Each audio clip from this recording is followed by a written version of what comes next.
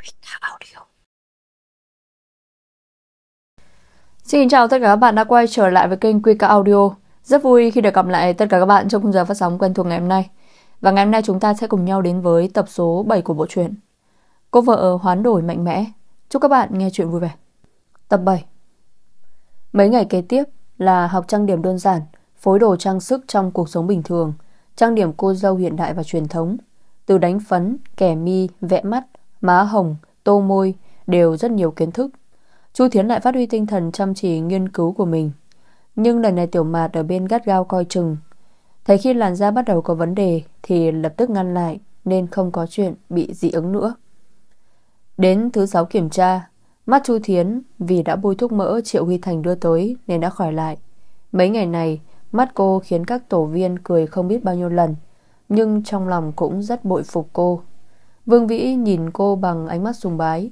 Lưu Văn Trí thấy vậy thì cười, lén nói với Trương Bân. Tiểu tử này đúng là khác người. Trương Bân hiểu thì cười nhưng không nói gì. Lần này, trường học đã tìm người mẫu cho mỗi người. Sau đó quy định trong thời gian nhất định phải trang điểm xong. Chu Thiến bị chỉ định trang điểm cho người đi phỏng vấn xin việc. Còn Tiểu Mạt thì bị chỉ định trang điểm cho cô dâu Hàn Quốc. Người mẫu của Chu Thiến là cô gái hơn 20 tuổi, da đầu hơi đen. Lông mi thưa, có mụn đầu đen. Chu Thiến đầu tiên bảo người mẫu rửa sạch mặt. Bôi dung dịch kiềm dầu, sau đó có cậy bớt mụn đầu đen, nhưng vì sợ sẽ khiến làn da đỏ lên nên không làm nhiều. Sắc mặt quan trọng nhất là tinh thần. Đẹp nhưng khiến người khác không nhận ra là mình trang điểm, tuyệt đối tránh trang điểm quá dày. Người mẫu thoạt nhìn không có tinh thần, Chu Thiến tỉa lông mày cho cô dựa theo kết cấu khuôn mặt, nhìn qua sáng sủa hơn nhiều. Màu da người mẫu đen, dùng phấn trắng quá sẽ rất giả, cho nên Chu Thiến chọn màu phấn tiệp với màu da nhất. Chỗ đen quá thì đánh phấn đậm lên để ra được đều màu. Hơn nữa cũng rất chú ý vành tai và cổ, tuyệt đối không thể để cổ với mặt hai màu. Như vậy, da người mẫu đã sáng lên nhiều. Ánh mắt không quá sắc nét, phải vẽ mắt mới đẹp hơn được. Cho nên Chu Thiến chọn vẽ mắt nâu vàng, Sau đó lại gắn mi giả Ánh mắt đẹp hơn nhiều. Má thì không thể quá nổi, Vì da cô ấy vốn nâu, Nên Chu Thiến chọn màu đồng, Tô lên xương gò má. Môi không nên quá đậm, Vì đi phỏng vấn sẽ làm phân tán sự chú ý của người phỏng vấn, Nên Chu Thiến chọn màu hồng nhạt. Để ý, vẽ viền môi Cũng đẹp hơn rất nhiều.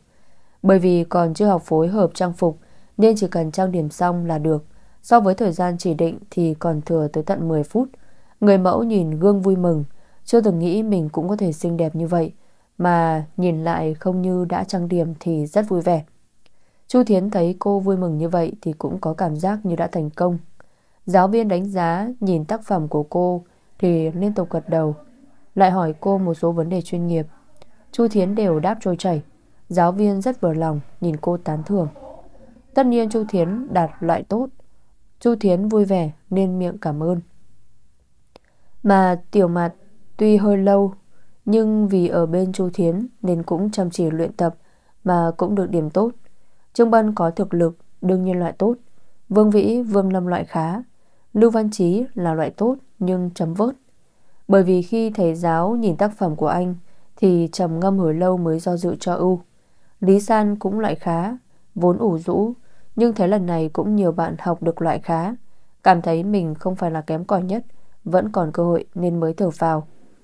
Mà Triệu Viện Viện là người có thành tích kém nhất Bởi vì đồ dùng của cô quá kém Nên má, mắt trang điểm lên nhìn không đẹp. Mắt thì như bị đánh Má thì như mông khỉ. Người mẫu cũng tái mặt. Giáo viên nhìn tác phẩm thì thẳng thắn nói nguyên nhân Là do dụng cụ của cô. Nhưng nghĩ thành tích trước đó của cô không tệ Nên vẫn cho qua có điều vẫn tế nhị nói. Muốn trang điểm tốt Thì nên chuẩn bị đồ dùng cho tốt trước. Nếu như em muốn tiếp tục làm nghề này, Thì giai đoạn đầu nên đầu tư một chút. Những lời này khiến cho triệu viện viện cúi đầu, Sắc mặt trắng bệch. Bọn Chu Thiến ở cách đó không xa nhìn cô, Trong lòng cũng không thoải mái.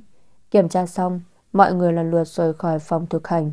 Chu Thiến và Tiểu Mạt đi về được một quãng thì Chu Thiến đột nhiên nhớ đã để quên dung dịch kiềm dầu ở trường. Cô nhớ tới lời Trương Bân thì hơi hoảng, vội nói với Tiểu Mạt. Mình quên một thứ, Cậu ở đây chờ nhé. Tiểu Mạt nói. Để mình đi cùng. Chu Thiến cười lắc đầu. Không sao, hôm nay cậu vẫn không khỏe. Đừng chạy. Mình đi nhanh thôi, không lâu đâu. Chu Thiến chạy tới phòng thực hành, vừa định đẩy cửa vào thì nghe thấy tiếng rên rỉ khóc ở bên trong. Chu Thiến nhẹ nhàng đẩy cửa, đã thấy Triệu Viện Viện gục xuống bàn khóc. Chu Thiến thở dài, trong lòng nghĩ đến an ủi, nhưng vừa nghĩ đến ánh mắt cảnh giác trước đó cô ấy nhìn mình, lời nói lại nghẹn lại. Cô đi đến bàn mình lấy đồ, kiểm tra cẩn thận, xác định không có ai động chạm thì cất vào túi, chuẩn bị rời đi. Nhưng vừa quay đầu lại, thấy Triệu Viện Viện hai mắt rưng rưng, lạnh lùng nhìn cô nói. Giờ cậu vừa lòng chưa? Cậu cố ý quay lại xem mình thê thảm thế nào đúng không? Cậu xem được rồi đó. Vừa lòng chưa? Chu Thiến nghe xong giận vô cùng, hử lạnh nói. mình quay về lấy đồ để quên. Trong lòng của mình cậu vốn chẳng quan trọng đến mức đó. Triệu viện viện cười lạnh một tiếng, liền xoay người đi. Trong lòng Chu Thiến có lửa giận vô danh. Cô bước đến bên cô ấy, trầm giọng nói. Triệu viện viện, tôi vẫn coi cô là bạn. Tôi tự hỏi cũng chẳng làm chuyện gì có quá đáng với cô. Sao cô lại nói tôi như vậy? Triệu viện viện đứng lên, thân mình gầy yếu vì khóc nhiều mà hơi run. Điều này khiến cô ta có vẻ đáng yêu. Coi tôi là bạn sao? Vậy sao cô muốn tôi đi sai đường? Chỉ sai đường. Chu Thiến bất ngờ nhưng lập tức hiểu ra. Cô nói về chuyện kiểm tra phác họa. Đúng. Triệu viện viện bị phẫn.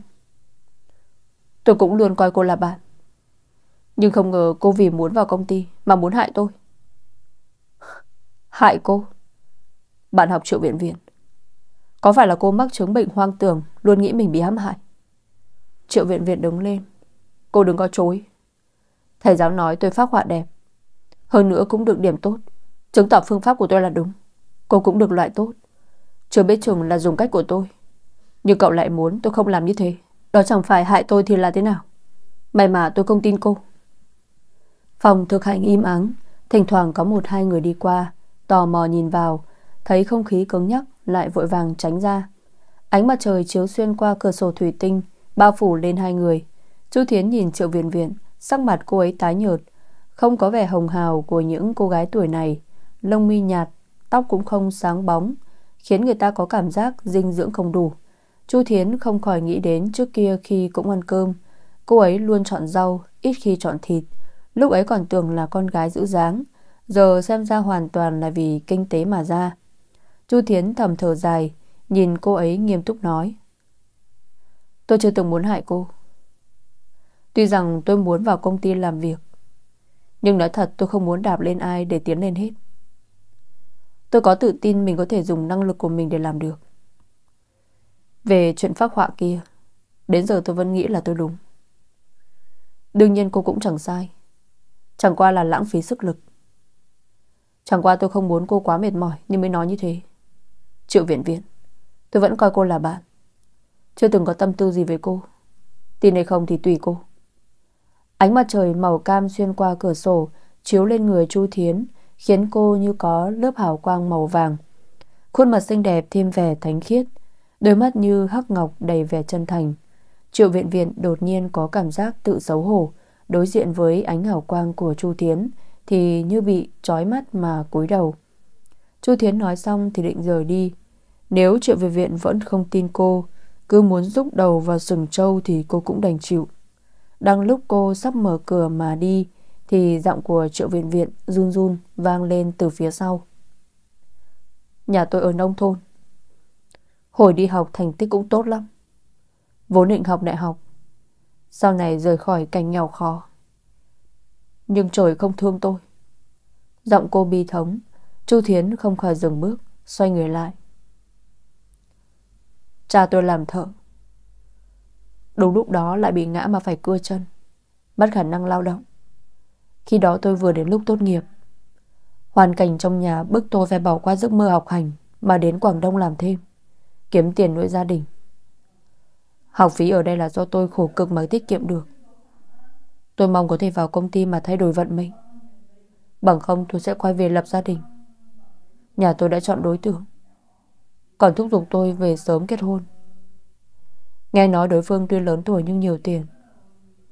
Tiền sinh lễ có thể dùng để cho anh tôi mua nhà, Lấy vợ.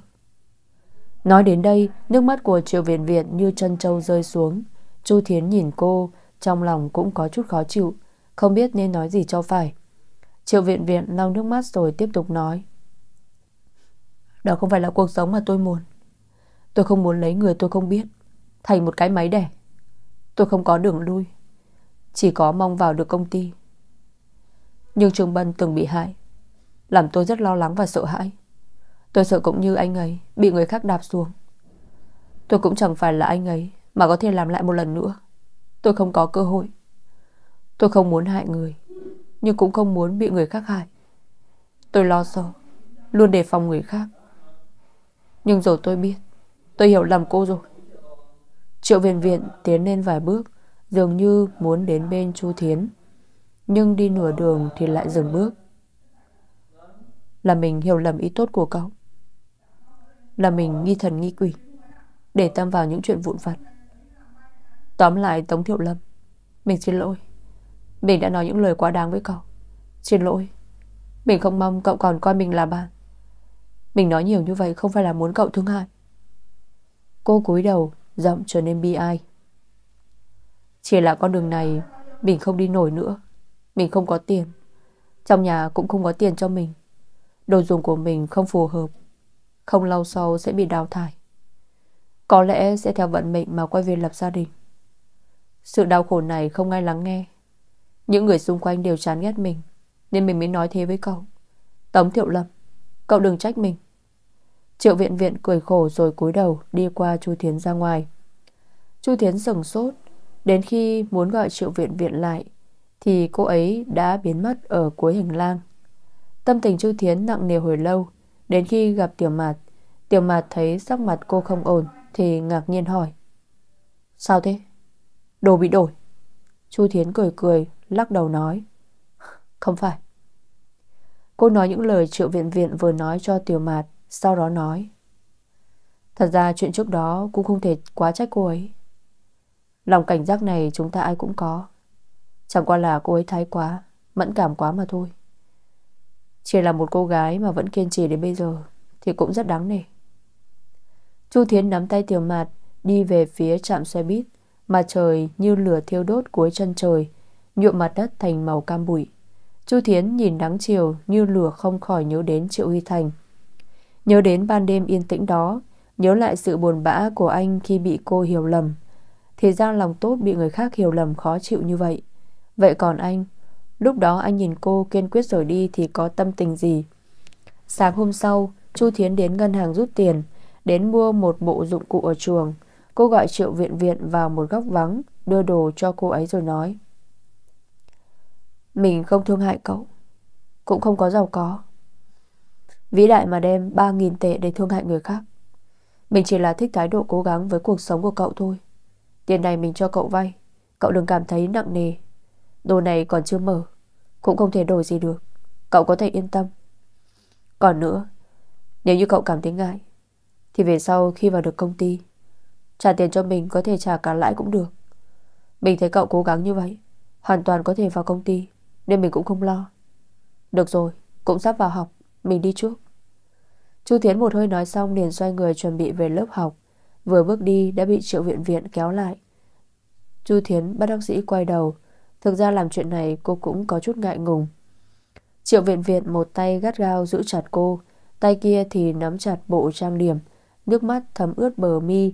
Vẻ mặt xấu hổ và cảm kích. Cô nhìn Chu Thiến. Hồi lâu sau mới nói một câu. Tống Thiệu Lâm, cậu... Sau đó nước mắt rơi xuống Cô buông tay Bưng mặt khóc không thành tiếng Hôm nay Chu Thiến và Tiểu Mạt tan tầm trở về Đi ngang qua góc yên lặng đó Chu Thiến lại thấy có bóng xe mơ hồ Bóng đêm yên tĩnh Ánh trăng sáng tỏ Ở góc đó Chiếc xe cô đơn đỗ tại đó trong xe có ánh lửa hồng lé qua, Bóng đêm lúc sáng lúc tối. Chu Thiến không như bình thường vội vàng bước đi. Lần này cô dừng bước đi qua đó. Tiểu mạt rất nhanh phát hiện sự khác lạ của cô. Nhìn theo ánh mắt của Chu Thiến, Phát hiện chiếc xe thần bí kia Thì biết có chuyện gì xảy ra. Cô nhìn bóng xe, Lại nhìn Chu Thiến, Yên lặng một hồi, liền nói, Thiệu Lâm, mình về trước. Mắt Chu Thiến không có rời khỏi chiếc xe kia, Gật gật đầu. Triệu Uy Thành ngồi trong xe, Nhìn bóng người ngày nhớ đêm mong kia, Trong lòng dâng lên sự kích động không thể kiềm chế. Nhất thời trong đầu có ngàn vạn suy nghĩ, Khiến anh lúc vui lúc buồn, Cảm giác lo được lo mất. Ruột mềm trăm mối này không thể dùng từ ngữ bình thường mà hình dung. Từ đêm đó gặp cô, Anh có thời gian rỗi Thì đều ở đây Chỉ để được nhìn cô một lần. Anh rất nhiều lần đùa cợt mình. Đã nhiều tuổi như thế này còn chơi trò, chơi của thiếu niên. Nhưng những đứa trẻ đó Sao luôn được bạn gái tha thứ Mà mình lại chỉ nhận được sự lạnh lùng của cô? Trong lòng anh không phải không khó chịu. Nhưng khó chịu thì khó chịu, Đau khổ thì đau khổ. Hôm sau vẫn đúng giờ đứng chờ ở đó. Cho dù là nhìn thấy bóng dáng cô, Cũng còn hơn là chẳng thấy gì. Một mình dày vò trong nhớ nhung. Nhưng hôm nay cô lại dừng bước, Thế có nghĩa là gì? Triệu Huy Thành cảm thấy tim mình đập loạn. Anh mở cửa xe đi xuống, Đi về bóng dáng mảnh mai kia. Đầu tiên là chậm rãi, Nhưng sau đó không khống chế được Mà bước càng lúc càng nhanh, Càng lúc càng nhanh. Khuôn mặt cô càng lúc càng rõ ràng. Cô đang cười, Cô cười với anh, Cô đang cười với anh. Nụ cười thản nhiên như cành mai Lặng lẽ nở rộ trong đêm tuyết. Triệu huy Thành không nhịn được Mà tim đập loạn. Anh vội bước đến bên cô. Sao sáng đầy trời Ánh trăng sáng ngời, Gió đêm dịu dàng, Ánh đèn mờ ảo bao phủ lấy hai người. Chu Thiến nhìn anh, Hơi thở của anh hỗn độn, Khuôn mặt anh có chút tiểu tụy, Trong mắt còn thấy cả tơ máu. Trong đêm đen, Giọng của Triệu Uy Thành trầm thấp. Thiệu Lâm, Cuối cùng em cũng chịu gặp anh. Chu Thiến mỉm cười. Em muốn cảm ơn thuốc mỡ của anh. Cô chỉ vào mắt mình. Rất hiệu quả. Cảm ơn. Triệu Uy Thành có chút thất vọng, Nhưng cô chịu gặp anh, Chịu cười với anh, Bình tĩnh nói chuyện với anh như vậy, Có phải đã là đột phá lớn? Trong lòng anh dâng lên cảm giác vui mừng, Khiến khuôn mặt anh bỗng sáng bừng. Chu Thiến vẫn đang mỉm cười, Tươi cười thản nhiên. Khí trời dưới ánh đèn mờ ảo Mà càng như mơ mơ hồ hồ Lại làm cho người ta có cảm giác ấm áp. Hy Thành, Cô khẽ gọi anh Rộng nhẹ như gió đêm. Anh cảm thấy tim như chìm trong hồ nước ấm Thật dịu dàng, ấm áp. Nhưng câu nói sau đó của Chu Thiến Lại như đẩy anh vào hầm đá Lạnh bút tim. Cô nói Hy Thành Sau này đừng đến đây nữa. Cô nhẹ nhàng mà nói Thản nhiên cười Vẻ mặt bình tĩnh, lạnh nhạt Tựa như đang nói chuyện hết sức bình thường. Lời của cô Vẻ mặt của cô khiến tim anh đột nhiên có rút lại. Anh tiến lên mấy bước, Gắt gao nắm chặt vai cô, Vội vàng nói. Thiệu Lâm, Có phải là em hiểu lầm điều gì? Là tuyếp thuốc mỡ đó hay sao? Em trách anh theo dõi em hay sao? Thiệu Lâm, Không phải là như em nghĩ đâu. Chẳng phải là anh đã nói anh cho người bảo vệ em sao? Bọn họ khá hiểu tình huống của em. Anh chỉ là lo lắng cho em thôi. Nếu như em không thích, Anh lập tức bảo bọn họ thôi. Thiệu Lâm, Em đừng như vậy. Câu nói cuối cùng của anh dường như đang cầu xin Cho tới giờ anh vẫn luôn cho rằng Không có gì trên đời có thể làm được khó mình Nhưng chỉ khi đối mặt với cô gái này Anh luôn có sự bất lực, khủng hoảng thì ra trên đời này khó nhất chính là lấy lòng cô gái trước mặt này. Cô gái thuần khiết, không chút mưu cầu nào. Nhưng đó lại là thứ anh muốn có được nhất. Đây là kiếp số của anh, là báo ứng cho sự hoang đường trước kia của anh. Chu Thiến nhíu mày, nhẹ nhàng dãy ruộng. Triệu Uy Thành ý thức được mình làm đau cô nên lập tức buông tay. Vội lui về phía sau hai bước, về mặt thống khổ mà bất đắc sĩ. Chu Thiến đi đến gần anh, nhẹ nhàng nói. Hy Thành Em không trách anh Trước là em hiểu lầm ý tốt của anh Còn nói những lời nói khó nghe Nhất định là khiến anh rất đau lòng Là em không tốt Em xin lỗi triệu Uy Thành ngẩng đầu trong mắt mơ hồ, Nếu cô không tức giận thì sao lại làm như vậy? Chu Thiến tiếp tục nói. Em hiểu ý tốt của anh. Nhưng cũng không có nghĩa là em chấp nhận nó. Hy Thành. Tội gì phải lừa mình dối người? Đôi mắt đen như ngọc của cô nhìn thẳng anh, Dường như muốn xuyên thấu đến lòng anh.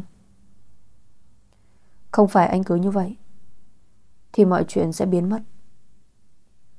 Không phải anh kiên trì, Thì em sẽ thay đổi nguyên tắc của mình. Hy Thành, Vô dụng thôi. Giọng cô nhẹ nhàng, Trong trời đêm lại có cảm giác đau đớn, Nặng nề. Hy Thành, Anh nhìn anh bây giờ đi. Sao phải tự biến mình thành vậy? Anh là Triệu Huy Thành uy phong lẫm lẫm, Là người thừa kế của tập đoàn Triệu Thị. Không ai sánh nổi. Anh hiểu nên làm nên không? Anh hiểu được cái gì là vô dụng.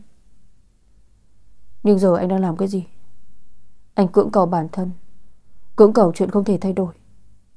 Anh làm như vậy chỉ khiến cho mọi người càng đau khổ. Hy Thành, Buông tay đi. Anh sẽ vẫn là thiên tri kiêu tử, Uy phong lẫm lẫm. Thế giới của anh sẽ không vì mất đi em mà thay đổi. Sao lại không thay đổi? Triệu Uy Thành cười thảm. Liên tục lui về phía sau. Em đã sớm trở thành một phần thế giới của anh. Thiếu em thế giới của anh cũng không thể đầy đủ. Cho dù có là thiên tri kiêu tử, Cho dù là người thừa kế của triều thị, Thì cũng có ý nghĩa gì? Triệu Uy Thành nhìn khuôn mặt xinh đẹp của cô, Đôi mắt buồn bã, Tim như bị lăng trì mà đau đến tận cùng, Đau đến không thể hô hấp. Đau đến cả người không thể tự chế run run. Thiệu Lâm, Trong đêm tối, Giọng anh có vẻ yếu ớt, Dường như chỉ chạm vào là sẽ vỡ tan. Vì sao em có thể bình tĩnh như vậy? Vì sao em luôn có thể lý trí như thế? Em dạy anh đi. Em có bao giờ mềm lòng không? Em lý trí đến đáng sợ. Bình tĩnh đến anh không thể không nghĩ. Em có từng yêu anh. Chu Thiến cúi đầu Dụ mắt, Che giấu sự đau xót của mình. Khi ngừng đầu, Mắt cô lại bình thản. Bởi vì trong hai chúng ta, Dù sao cũng phải có một người bình tĩnh. Quá hiển nhiên, Người đó không phải anh. Anh quay về đi, Hy Thành. Đừng đến đây nữa. Đừng làm những chuyện vô nghĩa nữa. Cô xoay người đi về nhà Bóng dáng kiên định thể hiện quyết tâm của cô. Khác với quá khứ là sự kiên quyết này còn có chút lạnh nhạt. Dường như giờ cô đã chẳng để chuyện này ở trong lòng. Triệu Uy Thành nhìn bóng cô mà lòng lạnh lẽo Như chỉ trong nháy mắt Đất trời u tối Bóng tối vô hạn đang nhấn chìm anh. Từ sau đó tiểu mặt phát hiện Chu Thiến hình như có chút khác lạ. Vẻ ngoài thì rất bình tĩnh.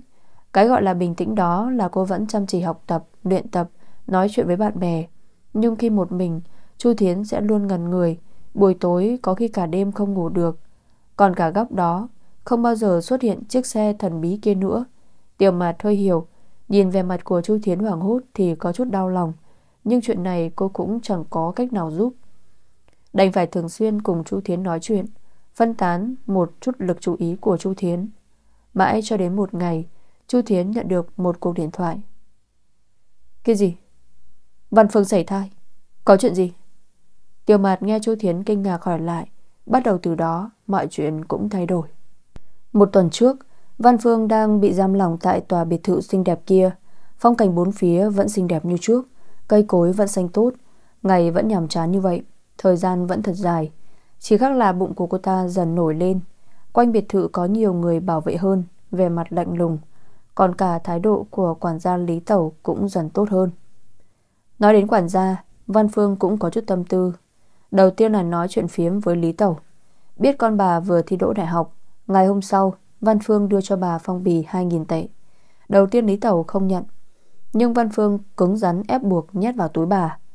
Sau đó khi Lý Tẩu ra ngoài mua đồ, Văn Phương bảo bà mua nhiều một chút. Ăn không hết, Văn Phương đều cho bà mang về nhà hết. Đồ ăn triệu gia cung cấp đương nhiên là loại thượng hạng. Nhà Lý Tẩu hầu như không cần mua đồ ăn Ăn không hết đem cho họ hàng, Cũng được nở mày nở mặt. Văn Phương còn thường mượn cớ này nọ Mà nhét phong bì cho bà, Đều hơn 500 tệ.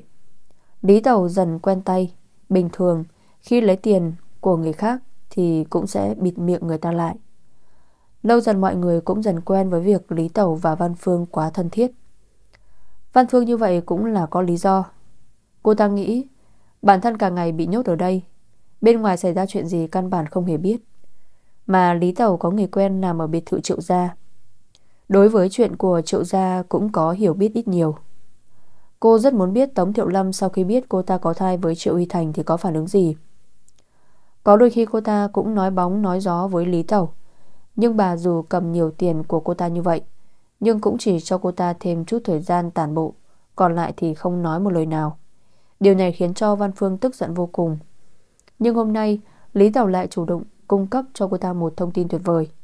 Đó là vào lúc trạng vạng, trong hoa viên, Văn Phương đang nằm dài trên võng, Nhớ tới cuộc sống bị giam lòng Nhớ tới triệu gia không có ai đến thăm mình Nghĩ tới vận mệnh của mình Sau khi sinh con thì không khỏi có chút hoảng loạn Rất bất an Cô ta vỗ bụng Càng quyết tâm được ăn cả ngã về không Đúng lúc này Lý tàu cho mọi người lui xuống ghế bên cạnh cô ta.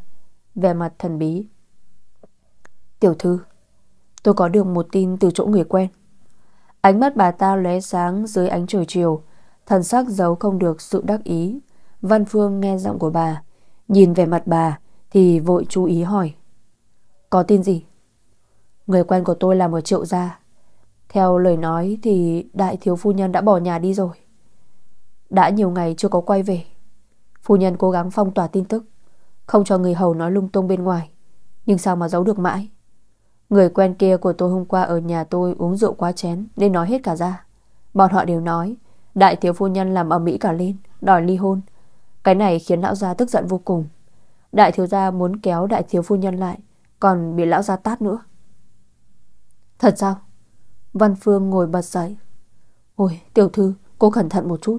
Giờ cô đang mang thai phải thật cẩn thận. Nghe nói triệu lão gia rất coi trọng đứa cháu này. Tiểu thư, Thật chúc mừng cô. Chưa biết chừng Lý Tẩu cũng không nói gì thêm, Nhưng cười đầy thâm ý. Trước bà cũng chẳng coi trọng cô ta, Trong lòng có chút khinh thường. Hơn nữa triệu gia coi cô ta như phạm nhân. Rõ ràng là triệu gia chỉ muốn đứa bé mà thôi. Cuối cùng cô ta cũng bị triệu gia đem tiền bịt miệng thôi. Cho nên tuy rằng Văn Phương nhiều lần nhờ cậy, Nhưng bà cũng mặc kệ. Tránh đắc tội triệu gia. Nhưng giờ không vậy, Đại thiếu phu nhân nếu thực sự ly hôn, Triệu lão gia lại coi trọng đứa cháu này như vậy. Chuyện tương lai lại trở nên khó xác định. Người phụ nữ này thủ đoạn không bình thường. Nhìn cô ta dưới sự giám thị nghiêm mật của mình Mà còn có thể dẫn đại thiếu phu nhân tới, Khiến cô ấy bỏ nhà đi thì rõ. Về sau cho dù cô ta không thể làm con dâu trưởng của triệu gia, Nhưng mẫu bằng tử quý Địa vị sau này vẫn là không thể khinh thường. Hiện tại mình giúp cô ta một chút, Tương lai có lợi gì cũng chưa biết chừng. Lý Tẩu nhớ đến dung tàu bên triệu phu nhân, Tiền lương tương đương với giám đốc một công ty Đại ngộ tốt vô cùng. Nghĩ như vậy, Lòng bà ta cũng vô cùng kích động. Bên kia, Văn Phương vô cùng mừng rỡ, Không thể tin vào tai mình. Ly hôn, Tống Thiệu Lâm muốn ly hôn, Người đàn bà ngu xuẩn lại đòi ly hôn Phiền cô ta còn vắt óc nghĩ mưu kế, Lôi Thiệu Lâm xuống ngựa. Không ngờ Thiệu Lâm lại hợp tác như vậy. Văn Phương không thể nhịn được Mà cười đến vỗ tay vỗ chân, Cười đến run rẩy cả người, Cười đến chảy nước mắt cả ra Đúng là trời cũng giúp tôi, Đúng là trời cũng giúp tôi. Tống Thiệu Lâm, Bất kể cô ly hôn thật hay là dùng nó để uy hiếp, Thì giờ cô đâm lao phải theo lao. Triệu gia coi trọng con tôi rõ ràng hơn cả cô. Nếu như cô không ở Mỹ, An an phận phận Nhận đứa bé này thì tôi còn khó nghĩ. Nhưng giờ cô gây chuyện, Đắc tội với mọi người ở triệu gia, Đem thể diện triệu gia quét đất. Tôi xem cô thu dọn việc này như thế nào. Cho dù trái tim của Hy Thành thuộc về cô thì như thế nào, Tình yêu của đàn ông yếu ớt lắm. Nhanh chóng thôi, Anh ấy sẽ quên cô. Tôi và anh ấy có đứa bé ràng buộc. Chỉ cần tôi dùng một chút công sức, Thì tôi chắc chắn sẽ đoạt lại được trái tim của anh ấy. Tống Tiệu Lâm Trung Quỳ cô vẫn chẳng thể là đối thủ của tôi. Văn Phương kích động Nắm tay Lý Tẩu, Hai mắt sáng bừng Vội vàng hỏi. Giờ thì sao? Giờ thế nào? Triệu gia có phản ứng gì? Bọn họ ly hôn chưa? Tay Lý Tẩu bị cô nắm mà đau Rút mấy lần nhưng không được Đành phải nhịn đau trả lời. Chuyện này tôi không rõ lắm Nhưng mà nghe người kia nói Triệu gia vẫn chờ đại thiếu phu nhân quay về.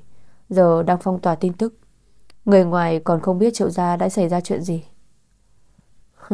Còn chờ cô ta trở về sao? Văn Phương cười lạnh. Cô ta buông tay. Lý Tẩu nhe răng xoa xoa Chỗ bị nắm ửng hồng lại. Văn Phương nhìn phía trước. Như ở trước đó có cảnh tượng, Cô ta được sống trong vinh hoa phú quý. Nghĩ đến đó, Lòng Văn Phương cũng sôi sục. Mặt cũng đỏ bừng vì hưng phấn, Khóe môi cười đầy đắc ý. Không muốn để cho người ngoài biết, Cô ta sẽ cố tình để cho mọi người biết.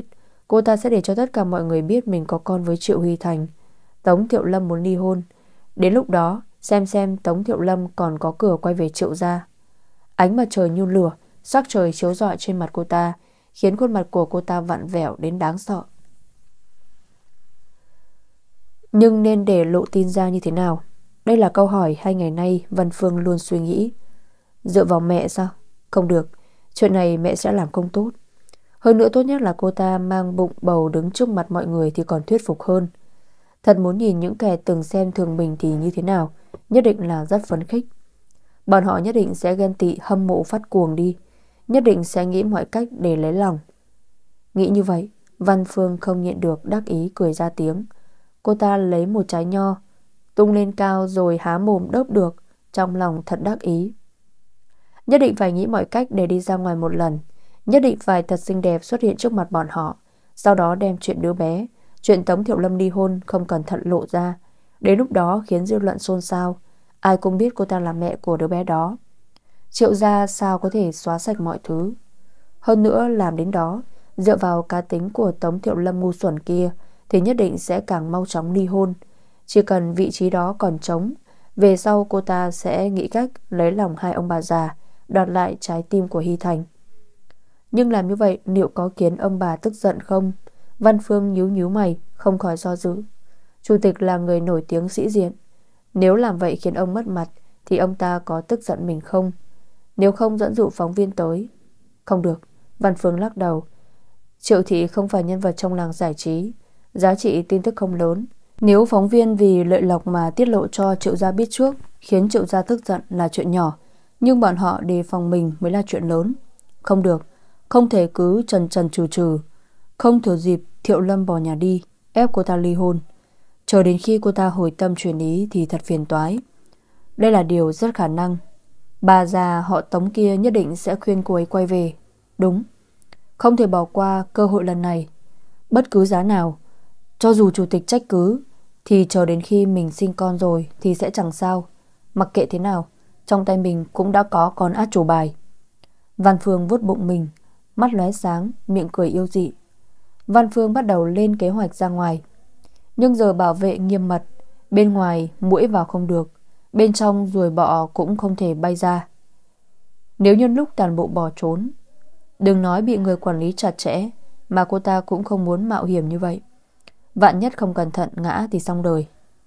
Đúng lúc này, Lý Tẩu nói muốn ra ngoài mua đồ, Hỏi cô có gì cần mua. Trong đầu Văn Phương trượt lóe, Không khỏi nở nụ cười. Trời cao đối với cô ta thật tốt, Luôn đưa cơ hội đến trước mặt. Cô ta bước lên kéo tay Lý Tẩu nói, Lý Tẩu, Hai ngày nay tôi đặc biệt muốn ăn một thứ Đến nỗi ngủ cũng không yên. Lý Tẩu hỏi, Cái gì vậy? Tôi cũng không biết là cái gì. Nó có tên là gì nhỉ Chỉ nhớ nói như thế này. Văn Phương làm bộ dáng khoa tay múa chân, Đại khái là hơi lớn, Màu vàng, Khó tả lắm. Lý Tẩu không hiểu ra làm sao. Đó là cái gì? Tiểu thư của tôi. Cô nói như vậy thì làm sao mà tôi biết nên mua cái gì? Văn Phương kéo tay Lý Tẩu, Tự nhiên mà nói. Nếu không tôi đi với bà. Đã lâu rồi tôi cũng không đi ra ngoài. Đường xá bên ngoài như thế nào Cũng sắp quên cả rồi. Tôi đi với bà. Tôi nhớ rõ nó thế nào. Văn Phương nhìn Lý Tẩu, Tận lực diễn xuất, Nhưng trong lòng thì rất bồn chồn. Nghe đến đó Lý Tẩu nhìn Văn Phương một cái, Nghi ngờ. Tiểu thư, Cô lại có ý gì? Tuy rằng cô tốt với tôi, Nhưng tôi không thể đưa cô ra ngoài. Tâm tư của cô tôi đoán không ra. Tôi không dám mạo hiểm như vậy. Vạn nhất xảy ra sai lầm gì, Tôi không thoát được liên lụy. Tôi vẫn muốn làm ở triệu gia, Còn tôi còn đang đi học, Tôi không muốn mất việc. Văn Phương trực chọc hai tiếng, Oán trách nói, Lý Tẩu Bà xem bà nói cái gì này? Bà nghĩ đi đâu thế? Tôi chẳng qua chỉ là muốn đi ra ngoài chơi, Tiện mua chút đồ ăn. Bà thật đang nghi. Bà cũng không nghĩ xem, Bà với người hầu đi theo ở bên cạnh. Tôi làm được cái gì? Nếu như bà không yên tâm, Thì cho vệ sĩ đi cùng. Lý Tẩu lặng im không lên tiếng, Xem ra là không chịu đáp ứng. Văn Phương trầm mặt, Lạnh lùng nói. Tôi vẫn coi bà là người tốt. Lâu như vậy cũng chỉ có bà tốt với tôi thôi. Nên tôi cũng coi bà như người thân. Không ngờ, Giờ bà lại từ chối chút yêu cầu này. Lý Tổng nghe được cô ta nói như vậy, Vẻ mặt ngượng ngùng, Nhớ tới mình nhận của cô ta không ít lời. Lại nghĩ sau này có lẽ cô ta thực sự có thể làm chỗ dựa, Không thể đắc tội được. Bà trầm ngâm một hồi, liền nói, Chuyện này tôi không làm chủ được. Để hỏi Dung Tẩu đã. Nói xong định gọi điện thoại. Văn Phương vốn định ngăn lại, Nhưng nghĩ lại nếu như vậy thì Lý Tàu sẽ không đồng ý. Chẳng bằng thử xem. Thôi đi, chẳng qua là chuyện nhỏ, Chắc triệu gia cũng không phản đối. Dung Tàu nhận được điện thoại, Sau đó hỏi ý kiến của triệu phu nhân. Triệu phu nhân suy nghĩ một hồi, Thở dài nói Thôi để cô ta đi đi. Dù sao giờ cũng không cần giấu Thiệu Lâm. Cô ta bị cấm túc lâu như vậy, Xem ra cũng rất buồn chán. Tâm tình không thoải mái, Cũng không tốt cho đứa bé. Nhưng mà bà nói với quản gia bên kia, Phải mang theo nhiều người. Nhất định là phải để ý kỹ cô ta. Mua đồ xong là phải về ngay. Tuyệt đối không được đi linh tinh. Lý Tàu được đồng ý thì thoải mái hơn. Thực sự nếu có xảy ra sai lầm gì Thì tội cũng không trách bà ta được. Văn Phương thay bộ quần áo đẹp nhất. Giờ quần áo đều là triệu gia mua, Đương nhiên là hàng hiệu. Về phần giày, Cô ta chọn đôi giày da khá đẹp. Lý tàu nhìn nói, Tiểu thư Đeo giày vải thoải mái hơn. Giày vải. Bọn họ mua cho cô ta giày vải đều là loại thô kịch. Còn lâu cô ta mới đeo để đến công ty. Văn Phương nâng nhấc chân Nói Cũng không cao, rất thoải mái. Lý Tẩu thấy giày quả thực cũng không cao Cũng không nói cái gì. Một hàng sáu người Lý Tẩu thêm hai người hầu Lại thêm hai vệ sĩ Đi hai ô tô về phía nội thành. Văn Phương thấy phô trương như vậy thì có chút đau đầu. Cô ta chỉ thuận miệng nói thôi Lý Tẩu lại thực sự dẫn theo nhiều người như vậy Lý Tẩu này nhận nhiều lợi của mình như vậy nhưng lại không giúp được gì. Nhưng mà chỉ cần vào nội thành, cô ta sẽ có cách tìm được đến công ty. Văn Phương nhìn cửa kính xe, bóng cây loang lổ chiếu lên cửa kính. Xuyên qua đó có thể thấy được bầu trời trong vắt cùng những đám mây trắng. Thế giới bên ngoài đột nhiên thật đẹp trong mắt cô ta. Đoàn người lái xe đến khu chợ tốt nhất nội thành. Nơi đó hàng hóa đầy đủ, hải sản, thổ sản, cái gì cũng có. Các đặc sản cả nước đều có thể đến đây mua. Chợ ồn ào tấp nập, đủ mọi tiếng ồn. Đoàn người chậm rãi đi tới. Lý Tẩu gắt gao đi bên cạnh cô ta, lớn tiếng nói. Tiểu thư, cô nhìn xem cô muốn ăn gì. Ở đây đủ hết. Nhất định có thể tìm được thứ cô muốn. Văn Phương nhìn bốn phía. Ở đây nhiều người cũng khá tiện. Nhưng cô chán ghét nhìn xung quanh. Phía trước có người dẫn đường, phía sau có người theo sát. Trái phải đều là người hầu. Nếu đổi lại bình thường Cô ta nhất định rất cao hứng Khi phô trương như nữ vương. Nhưng giờ thực sự là rất chán ghét Có cần phải như thế không? Như đưa phạm nhân đi. Văn Phương thầm mắng. Lý Tổng nghe được nhìn cô nói. Tiểu thư cô nói cái gì? Ở đây nhiều người cô phải cẩn thận một chút. Đừng để người khác đụng phải.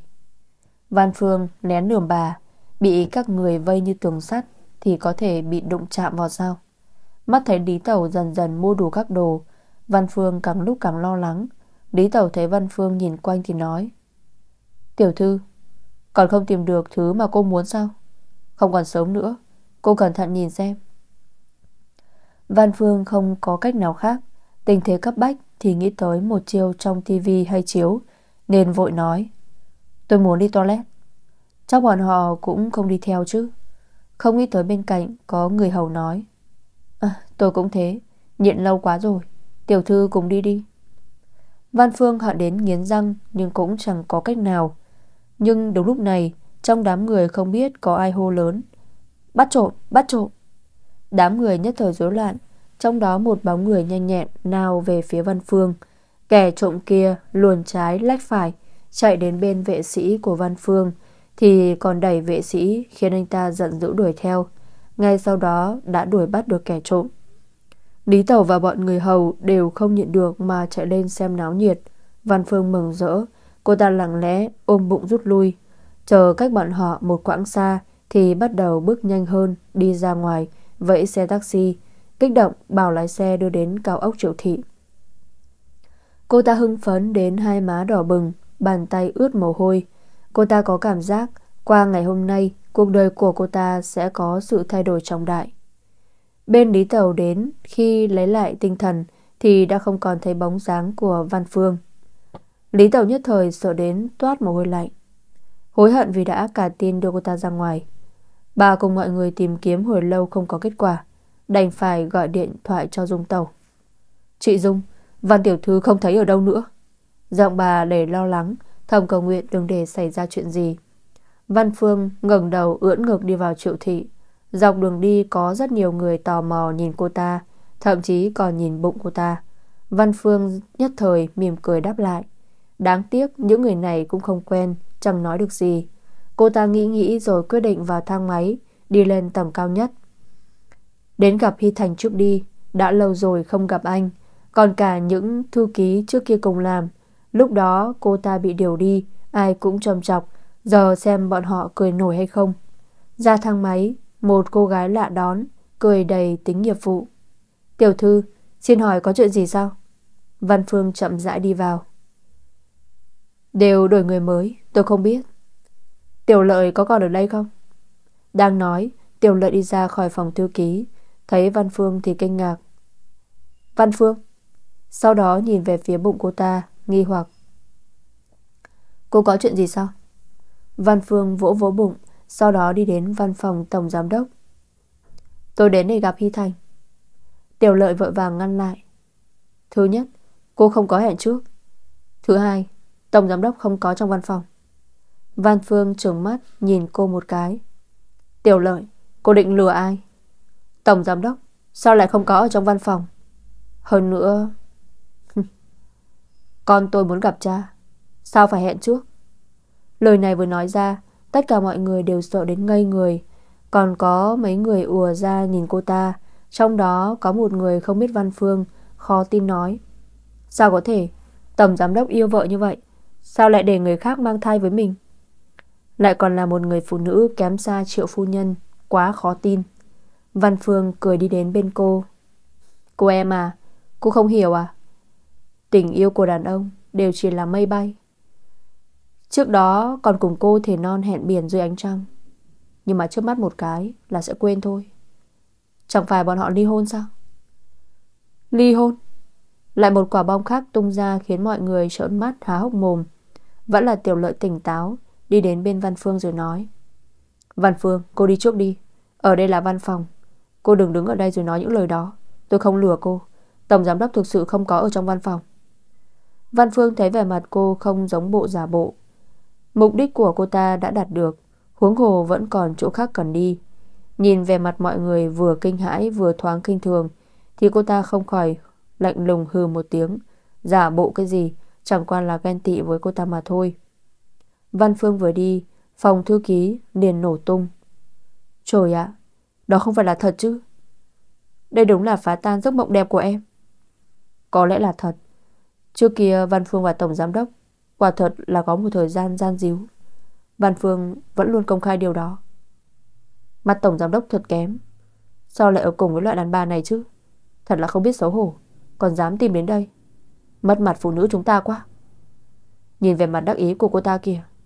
Làm cho người ta hận không thể tát chết cô ta đi Chắc không được thời gian này Tâm tình của Tổng Giám Đốc không tốt Còn hay nổi cáo Mà nói ra thì Tổng Giám Đốc thực sự là dân Nửa câu sau không nói ra. Triệu phu nhân thực sự muốn ly hôn. Thế chẳng phải là lợi cho con hồ ly tinh đáng chết này hay sao? Nếu là tôi, Thì đã cho cô ta chết rồi. Không cho cô ta được như ý. Thời buổi gì vậy? Sao Tiểu Tam lại có thể cản rỡ được như thế? Một cây làm chẳng nên non.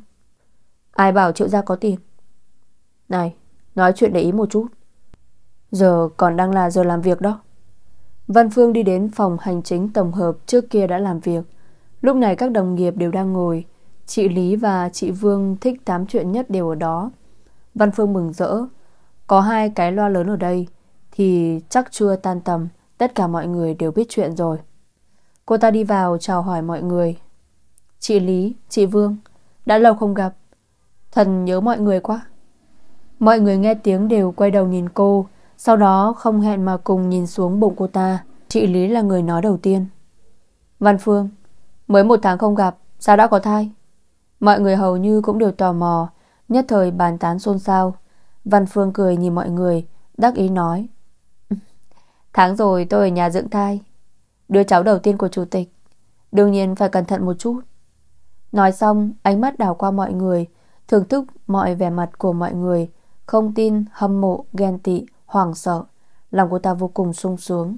Chị Vương đi tới nhìn cô. Đúng là của Tổng Giám Đốc sao? Văn Phương vốt bụng. Cũng không hẳn, là con trai đó.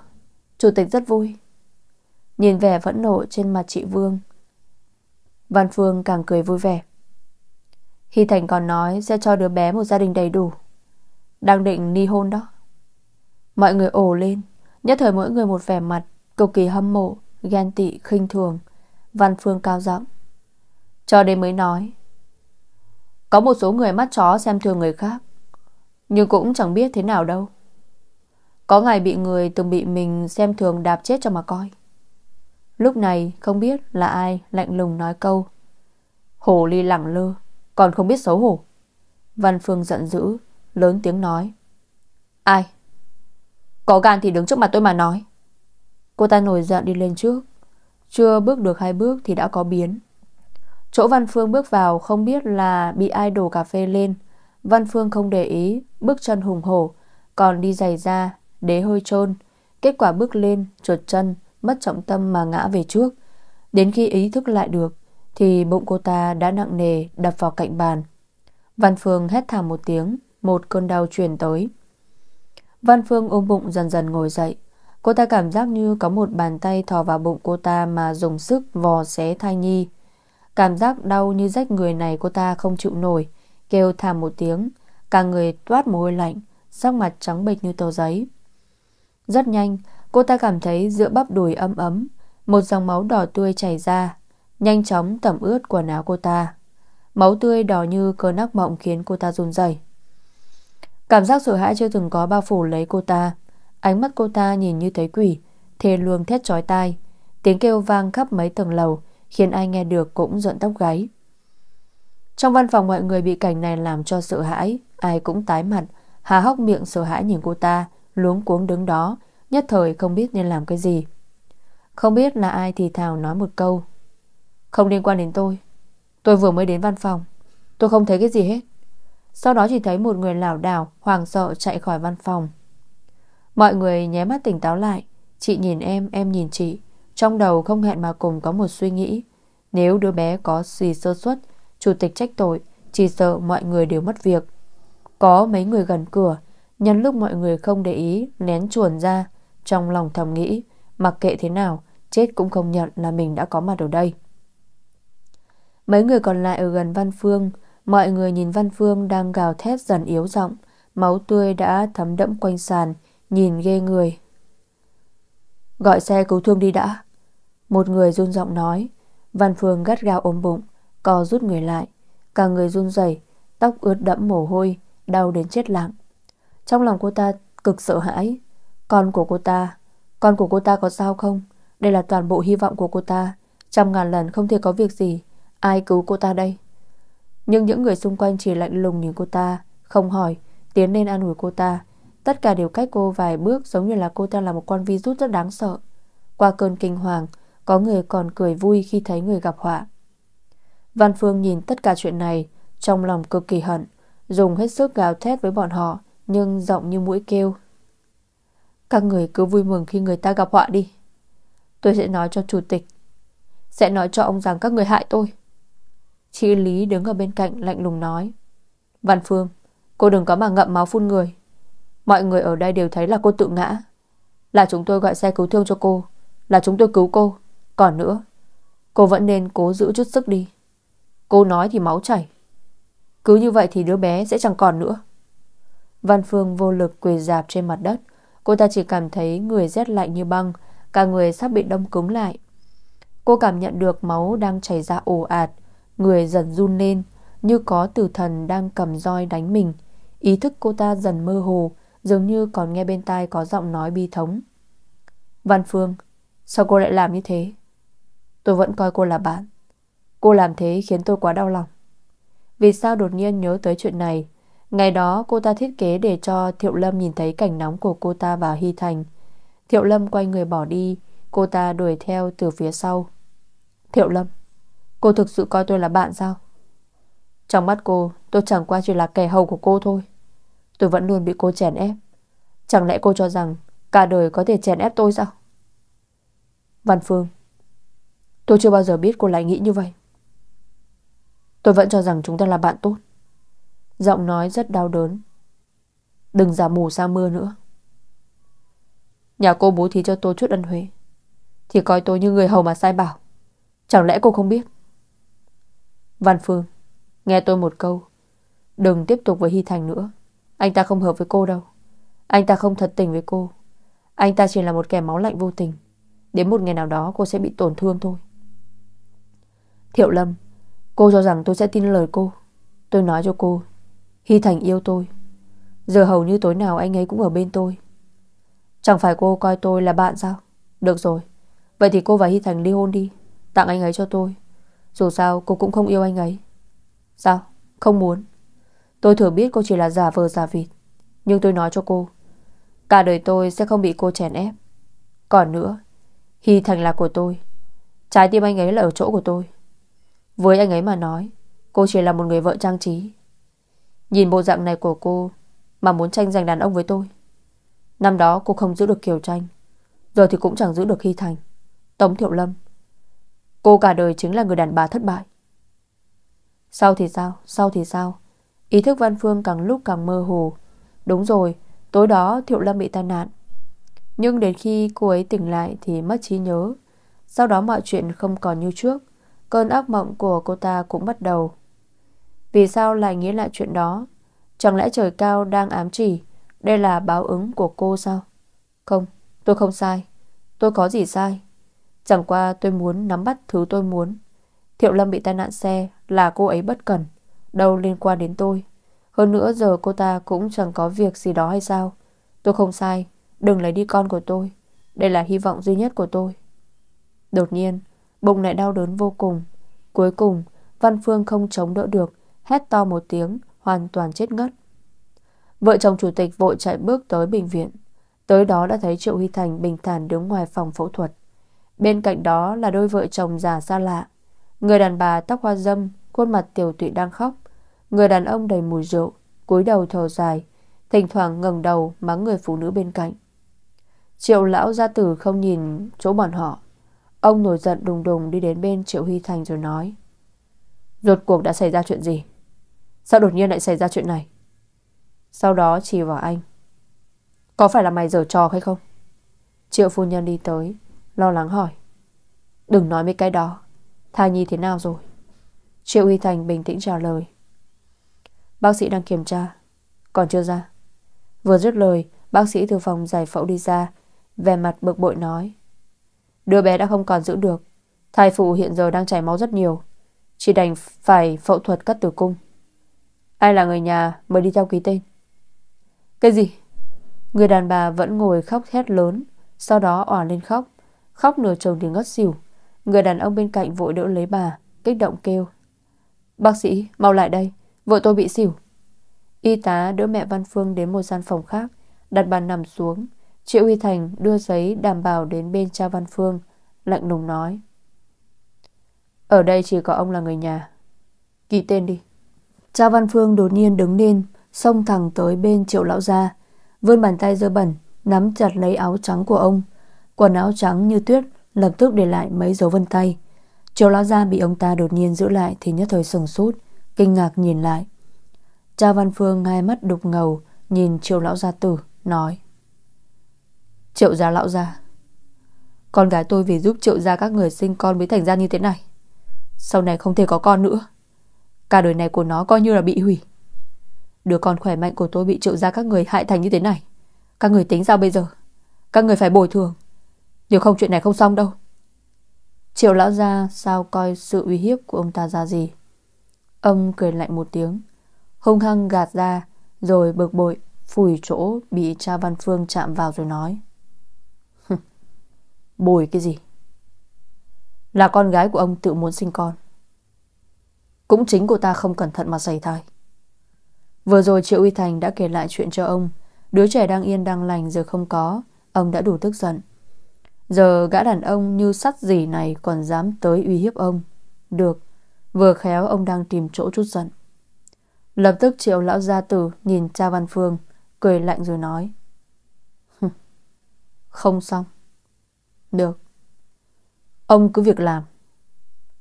Tôi thử xem ông làm được gì. Tôi nói cho ông. Chuyện này triệu gia chúng tôi bồi thường là nhân nghĩa. Không bồi thường là đúng đạo lý. Một xu tôi cũng không cho ông. Ông làm được gì? Cha Văn Phương lập tức sụi người, vội đổi giọng khép nép. Triệu lão gia, ông đừng giận tôi. Tôi không có ý đó. Chỉ là nhất thời lo lắng nên nói chuyện không đúng mực. Ông đừng so đo với kẻ quê mùa như tôi.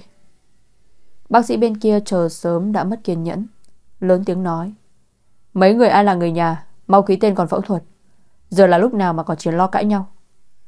Lúc này cha Văn Phương mới vội ký tên rồi đưa giấy đảm bảo cho bác sĩ. Triệu lão gia tử bị bác sĩ nói, trong lòng cực kỳ tức giận, lại thêm chuyện vừa mất cháu trai, nhìn đâu cũng thấy chướng mắt, vung tay nói với Triệu Huy Thành. Là mày gây sự. Tao mặc kệ. Triệu phu nhân nghe được thai nhi không còn thì luôn thở dài. Với chuyện của Văn Phương thì cũng chẳng mấy quan tâm, nghĩ cho chút tiền là được. Giờ thấy chồng đi rồi, cũng dặn dò Triệu Uy Thành mấy câu, dặn anh chờ Văn Phương tỉnh lại, thu xếp chuyện cho thỏa đáng. Sau đó cũng xoay người đi theo chồng. Văn Phương như tỉnh khỏi cơn mê dài, mở to mắt nhìn, thấy xung quanh tường trắng như tuyết thì biết mình đang ở trong bệnh viện. Cô ta theo bản năng sờ bụng, lại phát hiện bụng phẳng lì thì điên cuồng gào thét. Con của tôi đâu? Con của tôi đâu? Tay vung lên như muốn ngồi dậy nhưng cả người chẳng có chút hơi sức. Lúc này bên cạnh có một đôi tay để lại sau đó nghe tiếng mẹ khóc. Phương Nhi ơi, Đứa con khốn khổ của mẹ. Văn Phương nhìn mẹ về mặt kinh hoàng. Mẹ, Có phải con của con đã không còn? Mẹ Văn Phương vừa khóc vừa nói. Phương Nhi à Không chỉ đứa trẻ không còn Còn chảy máu rất nhiều. Vì bảo toàn tính mạng Mà bác sĩ đành phải cắt tử cung của con rồi. Sau này con không thể sinh con được nữa. Nói xong thì lại gào khóc. Cái gì?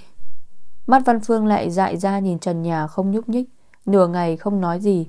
Sau đó, cô ta thê lương khóc nức nở như quỷ kêu. Mẹ Văn Phương khóc càng đau lòng. Con của mẹ Sau này con phải làm thế nào? Lúc này chị Uy Thành ở ngoài nghe được tiếng động thì đẩy cửa đi vào. Đến bên giường Văn Phương, Lạnh lùng nhìn cô ta. Văn Phương nhìn thấy anh giống như thấy tia hy vọng, Run run vươn tay về phía anh khóc. Hy Thành. Triệu Hy Thành lặng yên không động đậy Chỉ quay đầu nói với mẹ Văn Phương. Tôi muốn nói chuyện riêng với Văn Phương. Mẹ Văn Phương biết tương lai con gái mình đều chỉ trong một suy nghĩ của người đàn ông này Nên không dám cãi lời. Bà đi đến bên cạnh Hy Thành Hai mắt đẫm lệ, cầu khẩn. Thiếu gia Hy Thành Giờ Vương Nhi thành ra thế này? Tôi xin cậu đừng kích thích nó. Sau khi mẹ Văn Phương rời đi Văn Phương nhìn Hy Thành không ngừng khóc. Cô ta khao khát anh bước đến ôm mình, An ủi mình, Sau đó nói rằng đó không phải là sự thật. Nhưng bên tai lại chỉ nghe được Giọng anh lạnh băng. Văn Phương, Tôi từng nói với cô rồi. Nếu như có ngày cô phải chịu kết cục bi thảm, Thì đó đều là cô tự tìm. Thật đúng là hiệu nghiệm. Nước mắt Văn Phương thấm đẫm gối đầu Cô ta muốn ngồi nhưng không ngồi nổi. Cuối cùng đành bất lực nằm đó, Cả người đau đớn. Cô ta khóc, cầu xin. Hy Thành, Anh đừng bỏ mặc em. Em là vì anh mới thành ra thế này. Triệu Huy Thành nghe xong cũng không tức giận. Dường như sớm đoán được cô ta sẽ nói như vậy. Anh chỉ lạnh lùng nhìn cô ta. Ánh mắt không chút ấm áp. Ngay cả giọng nói cũng lạnh như băng, Khiến cô ta có cảm giác lạnh thấu xương. Anh nói. Văn Phương. Cô đừng nghĩ đổ trách nhiệm lên đầu người khác. Từ đầu đến cuối, cô đều là vì bản thân mình mà thôi. Từ đầu, quan hệ của chúng ta vốn chỉ là giao dịch. Tôi chưa từng hứa hẹn gì với cô. Hơn nữa, tôi cũng trả công cho cô đầy đủ. Chẳng qua cô nổi lòng tham. Không thể tính tại tôi. Chuyện đó tôi không có lỗi với cô. Người tôi phải xin lỗi chính là Thiệu Lâm. Về phần đứa bé này, lại có thêm chứng cứ về sự ích kỷ của cô. Đứa bé này tôi chưa từng mong nó xuất hiện, cũng không mong nó sinh ra. Cô giấu tôi. Vì ý muốn xấu xa của mình, mà một tay khống chế vận mệnh của đứa bé. Cô vốn không cần chịu nỗi khổ như bây giờ. Cô chỉ cần nói với tôi. Tôi sẽ giúp cô phá thai. Hơn nữa cũng bồi thường cho cô. Đủ cho cô bắt đầu một cuộc sống mới. Còn nữa. Vì sao cô xảy thai? Vì sao cô xuất hiện ở công ty? Lúc ấy cô nói gì với mọi người? Chú ý trong lòng cô là gì Cô nghĩ tôi không biết Cô chỉ vì lòng tham nực cười của mình Mà có kết cục đến bây giờ Cô còn trách được ai Mỗi câu nói của Triệu Y Thành, Sắc mặt Văn Phương tái đi một phần trong lòng cô ta dâng lên sự khủng hoảng, Sau đó biến thành hận ý. Như con rắn độc bò khắp người, Cô ta biết mình không thể làm gì, Chỉ oán độc nhìn anh. Chẳng lẽ anh cho rằng Anh có thể xóa sạch sao? Trong bụng của em có con của anh, Đó là chuyện thực. Triệu uy Thành cười lơ đãng. Đúng, Tôi thừa nhận. Cho nên tôi mới còn đứng ở đây nói nhiều với cô như vậy. Còn không? Cô nghĩ là tôi muốn nhìn thấy mặt cô. Triệu uy Thành đến gần vài bước, Nhìn khuôn mặt trắng bệch như giấy của cô ta, Đột nhiên mềm giọng. Văn Phương, Trước chúng ta đều sai rồi. Chuyện nam nữ không nên dùng cơ thể tình dục để ràng buộc. Thì ra tâm hồn mới là chuyện đẹp nhất. Văn Phương, Giờ cô đã thành vậy Tuy rằng chủ yếu là vì cô gieo gió gặp bão, Nhưng trung quy cũng là do tôi. Tôi sẽ bồi thường cho cô. Cho cô số tiền đủ để cô đến nơi khác để bắt đầu một cuộc sống mới. Cả đời không lo. Cô đi đi. Rời khỏi đây. Đi đâu cũng được. Ra nước ngoài cũng được. Đổi hoàn cảnh sống khác. Quên mọi thứ đi. Anh dừng lại, nhẹ nhàng thở dài một tiếng. Mà tôi cũng không muốn gặp lại cô nữa.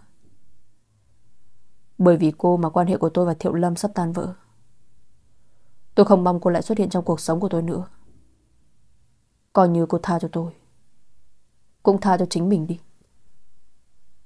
Nước mắt của Văn Phương lặng lẽ rơi xuống. Cô ta dãy ruộng nắm chặt tay của Triệu Huy Thành. Nhưng vì bụng đau đớn Mà cả người run run, Sắc mặt cô ta tái nhợt, Môi cũng tím lại. Cô ta gắt gao giữ chặt Triệu Huy Thành.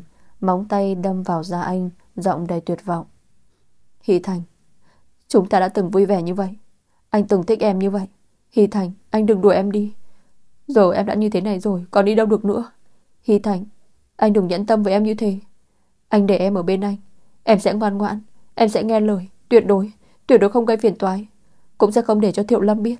Hy Thành, Coi như thương hại em. Để cho em ở bên anh đi. Triệu Huy Thành định gạt tay cô ta nhưng nhìn trên giường đầy vết máu loang lổ. Lại nhớ tới cô ta là bệnh nhân vừa cắt bỏ tử cung, Lực trên tay cũng giảm đi nhiều, Anh nhẹ nhàng rút tay về. Lui về phía sau mấy bước, Văn Phương mất trọng tâm, Nằm lại giường, Tuyệt vọng khóc giống. Văn Phương Nhờ có Thiệu Lâm mà tôi biết tình yêu là gì? Giữa tôi và cô ấy không thể có kẻ khác chân chân vào nữa. Chuyện này xem ra cô không thể hiểu được rồi. Ngày mai tôi sẽ chuyển tiền vào tài khoản cho cô. Sau này cô tự lo liệu. Sống cho tốt. Triệu Y Thành nói xong thì lạnh lùng xoay người. Bóng lưng kiên định khiến tim Văn Phương như bị dao cắt. Cô ta thấy dường như mọi sự ấm áp trên đời đều biến mất. Chỉ còn bóng tối lạnh lẽo nuốt dần lấy mình. Lòng cô ta cực sợ hãi tuyệt vọng đến tột cùng, mãi cho đến khi sự điên cuồng, oán hận dâng lên. Thiệu Lâm, Thiệu Lâm, trong lòng anh chỉ có Thiệu Lâm, nhưng anh chắc chắn rằng cô ta chỉ yêu anh. Triệu Y Thành xoay người, âm trầm nhìn khuôn mặt vặn vẹo của Văn Phương. Cô nói cái gì? Giọng Văn Phương như quỷ, sắc bén, trói tai. Anh nghĩ rằng đứa trẻ không còn. Tôi rút lui thì Thiệu Lâm sẽ quay lại bên anh. thì ra, Triệu Huy Thành cũng là một kẻ ngây thơ như vậy. Triệu Uy Thành trầm giọng nói Văn Phương Chú ý lời nói của cô. Cứ cố chấp thì người chịu thiệt chỉ là cô thôi. Nhưng giờ Văn Phương bị oán hận và tuyệt vọng che mắt lý trí, căn bản không quản được miệng của mình. Thiệu Lâm sẽ không quay lại với anh đâu. Cô ta yêu Kiều Tranh, không phải anh. Tình cảm của bọn họ sâu đậm đến mức như thế nào, anh không biết được đâu. Cô ta trước khi lấy anh, đã từng tự tử vì Kiều Tranh. Cô ta vì mất hy vọng sống mới lấy anh. Lấy anh về, chẳng qua chỉ là một cái xác không hồn mà thôi. Anh không tin thì có thể đi điều tra. Anh đến trường đại học đó hỏi xem. Đến giáo sư cũng biết bọn họ yêu nhau cỡ nào. Đúng thế, cô ta mất trí nhớ. Nhưng còn chưa hoàn toàn cân Kiều Tranh. Bọn họ bây giờ còn lén nút gặp mặt. Tôi biết, tôi biết hết. Bởi vì tôi vẫn luôn mời thám tử tôi theo dõi bọn họ. Tôi còn có ảnh của bọn họ nữa. Hy Thành, anh có muốn xem không? Mặt cô ta đột nhiên đỏ bừng lên, môi co rúm, giọng khàn khàn khó nghe. Anh rất đẹp nhá. Dưới tán cây, hai người yêu nhau ôm chặt nhau, nhìn nhau chân thành. Đó là hình ảnh đẹp đẽ cỡ nào. Hy Thành, anh nhất định phải xem, nhất định phải xem. Thiệu Lâm có từng dùng ánh mắt đó nhìn anh chưa? Thiệu Lâm... Bốp, Văn Phương im bặt. Mặt cô ta bị Triệu Uy Thành tát mạnh mà nghiêng sang một bên. Cả người đổ dạp xuống giường. Khóe miệng cô ta chảy máu nhưng lại vẫn điên cuồng cười lớn. Cười đến không thở nổi. Mẹ Văn Phương ở ngoài nghe tiếng vội chạy vào. Thấy Văn Phương chảy máu thì biết đã xảy ra chuyện gì.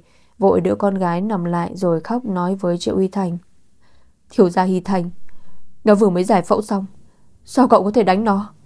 Sau đó bà nhức tròn lên, đột nhiên cả kinh kêu lớn. Ây à, chảy máu, chảy máu nhiều quá. Tôi đi gọi bác sĩ. Mẹ Văn Phương hoang mang chạy đi. Triệu Uy Thành nhìn Văn Phương đang thở yếu ớt, hung hăng nói. Văn Phương, là cô tự chuốc lấy. Cô hết thuốc chữa. Vô sỉ tới cực điểm. Còn dám mời thám tử theo dõi Thiệu Lâm. Cô nghĩ rằng tôi sẽ tin cô sao? Văn Phương, tôi không tin cô. Cô công cốc rồi. Vì cái mạng nhỏ này, cô tích chút đức đi. Văn Phương nằm trên giường, khó khăn ngừng đầu nhìn anh nói. Thiệu Lâm sẽ không trở lại bên anh. Cô ta sẽ từ chối anh. Chờ cô ta khôi phục trí nhớ, thì cô ta sẽ không coi anh ra gì. Cô ta sẽ vội tới bên Kiều Tranh. Sau đó, không chống đỡ nổi nữa, Văn Phương hôn mê. Ngoài cửa truyền đến bác sĩ mắng. Sao lại chảy máu nữa? Không phải là bảo các người để ý cô ta, đừng để cho bệnh nhân cử động sao? Nhà bà chăm sóc bệnh nhân kiểu gì thế? Bác sĩ đi vào, kiểm tra rồi tức giận nói. Nhất định là để cô ta cử động. Vừa cắt bỏ tử cung lại chảy máu nhiều. Các người chờ mà ký giấy thông báo bệnh nguy kịch đi. Bác sĩ, y tá đẩy Văn Phương hôn mê đi. Mẹ Văn Phương oán hận nhìn Triệu Huy Thành nhưng không dám nói gì, khóc lóc đi theo. Triệu Huy Thành một mình đứng giữa căn phòng đầy mùi máu tanh, vẻ mặt ngơ ngác, trong đầu nhớ lại những lời mà Văn Phương vừa nói. Chờ cô ấy khôi phục trí nhớ, cô ấy sẽ không coi anh ra gì. Cô ấy sẽ vội tới bên Kiều Tranh. Trong lúc nhất thời, trăm ngàn cảm xúc dâng lên trong lòng, mà cuối cùng bị sự sợ hãi thật sâu thay thế. Chu Thiến cầm điện thoại, nửa ngày mất hồn, sảy thai, sao đột nhiên lại sảy thai? Trong điện thoại, giọng Tống Phu Nhân đầy vui mừng khi người gặp họa. Thật khoái trá quá đi, Mẹ sớm biết là con khốn này không sinh được con mà. Chỉ là không ngờ đứa bé chết trên tay mẹ nó. Ê, Thiệu Lâm à? Con có đang nghe không đấy? Alo, nói chuyện đi. Có, con đang nghe. Thiệu Lâm, con về đi. Mẹ có lời muốn nói với con. Về. Chu Thiến nhíu mày. Cô hoàn toàn có thể tưởng tượng người nhà Tống Gia sẽ nói gì với cô. Cô thực sự không muốn nghe nên từ chối. Thời gian này con không rảnh. Tạm thời không thể về. Chờ lúc nào rỗi thì con sẽ về. À điện thoại sắp hết pin rồi, Con cúp đây. Nói xong không chờ Tống phu nhân đáp lời, Vội vàng tắt điện thoại, Quay đầu lại.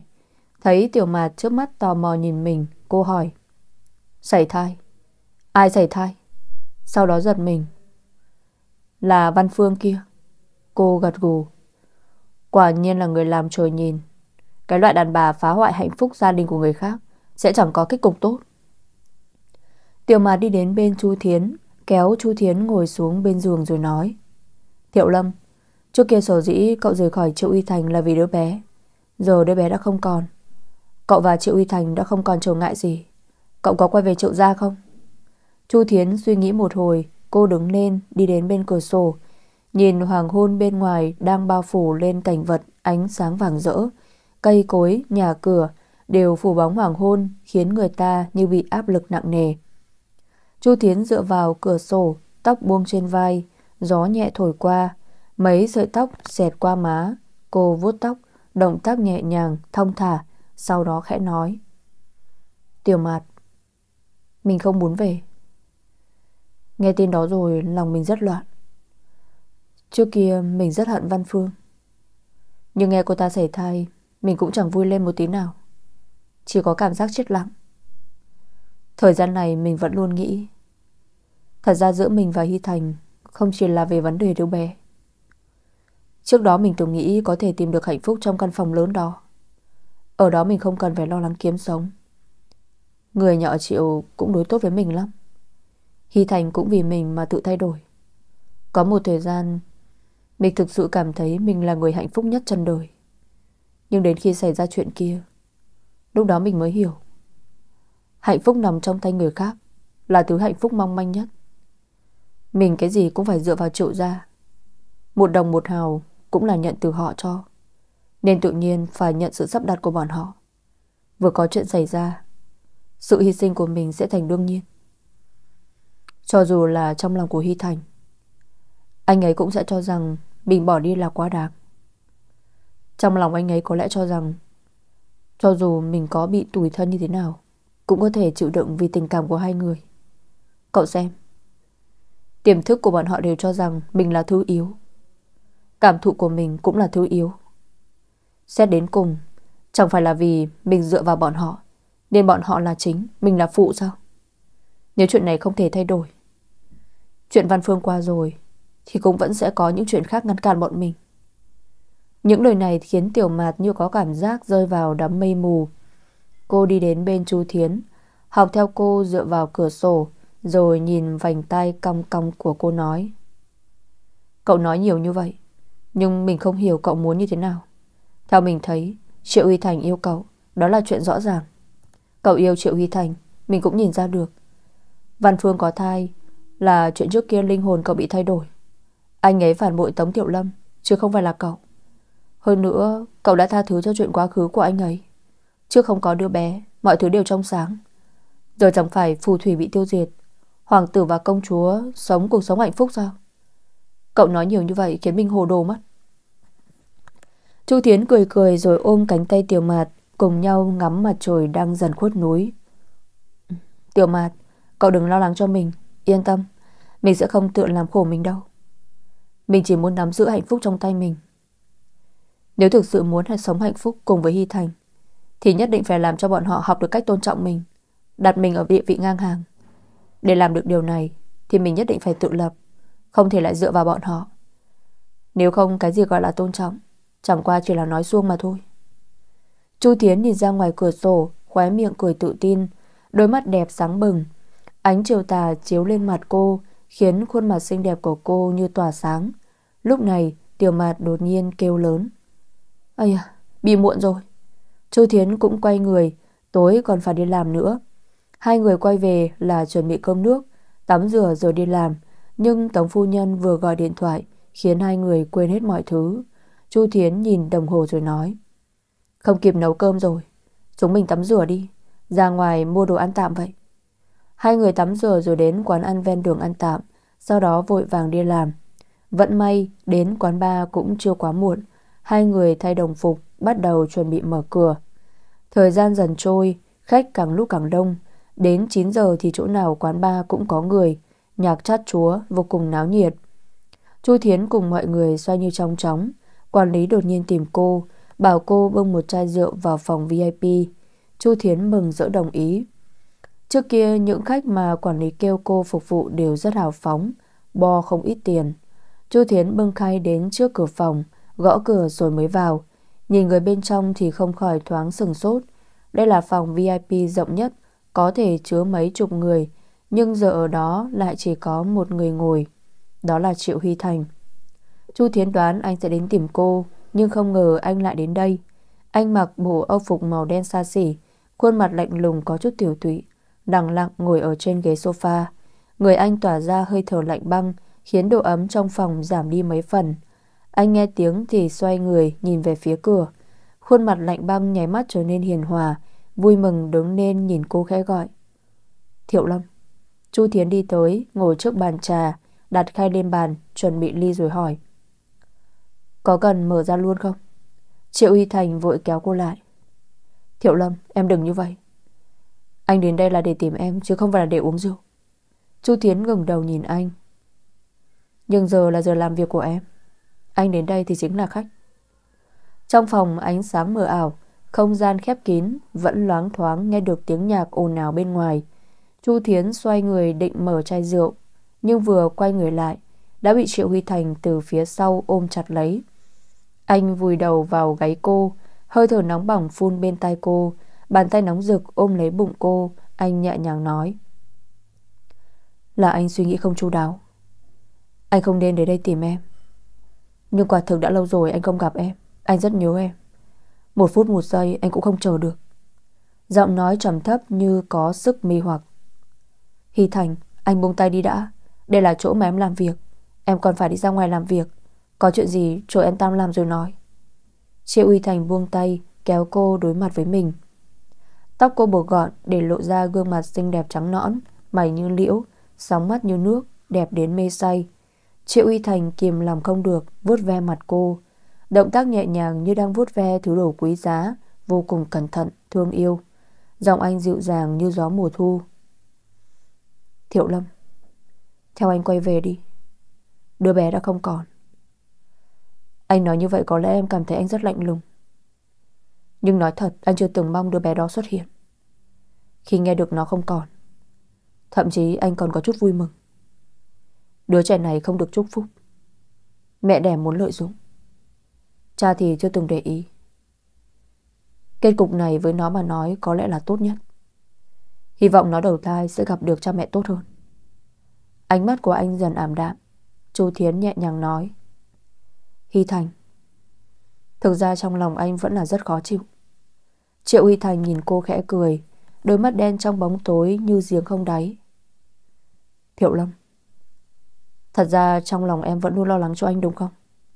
Sở dĩ em rời đi, Chỉ là vì đứa bé thôi đúng không? Anh nắm chặt vai cô, Hai mắt gắt gao nhìn cô, Ánh mắt sáng bừng. Giờ tất cả mọi thứ đã không tồn tại.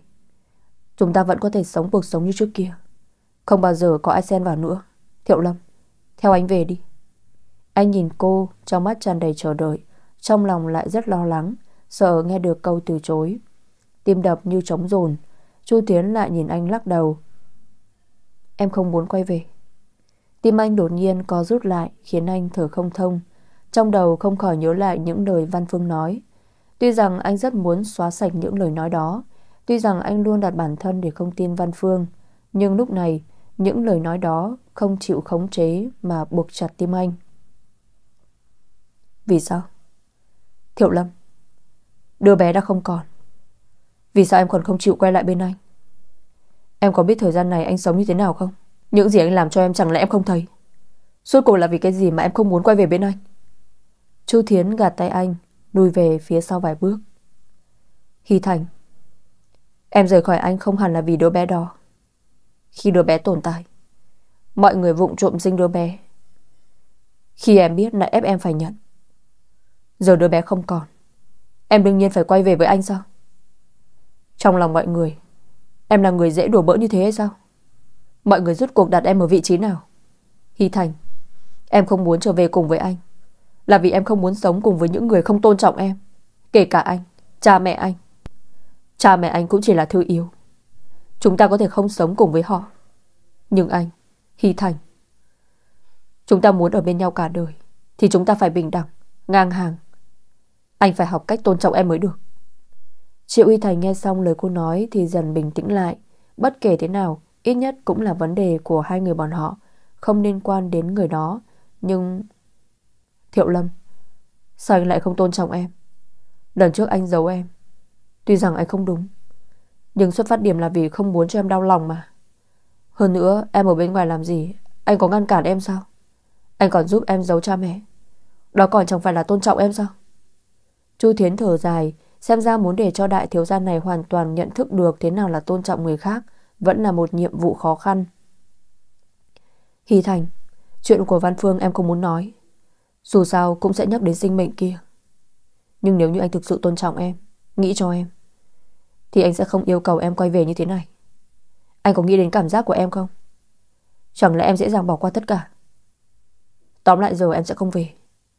Nếu anh không chấp nhận, thì ký vào đơn ly hôn đi. Triệu Uy Thành có một cảm giác quái dị. Trong thế giới của anh, người phụ nữ có thể nói với anh những lời như vậy. Chỉ e cũng chỉ có vị trước mặt này thôi. Nếu đổi làm là người khác, dùng giọng uy hiếp này để nói với anh, thì anh đã sớm tính kế dạy dỗ đối phương rồi. Nhưng giờ trong lòng anh lại có cảm giác vui vẻ. Thế này có tính là bị coi thường không?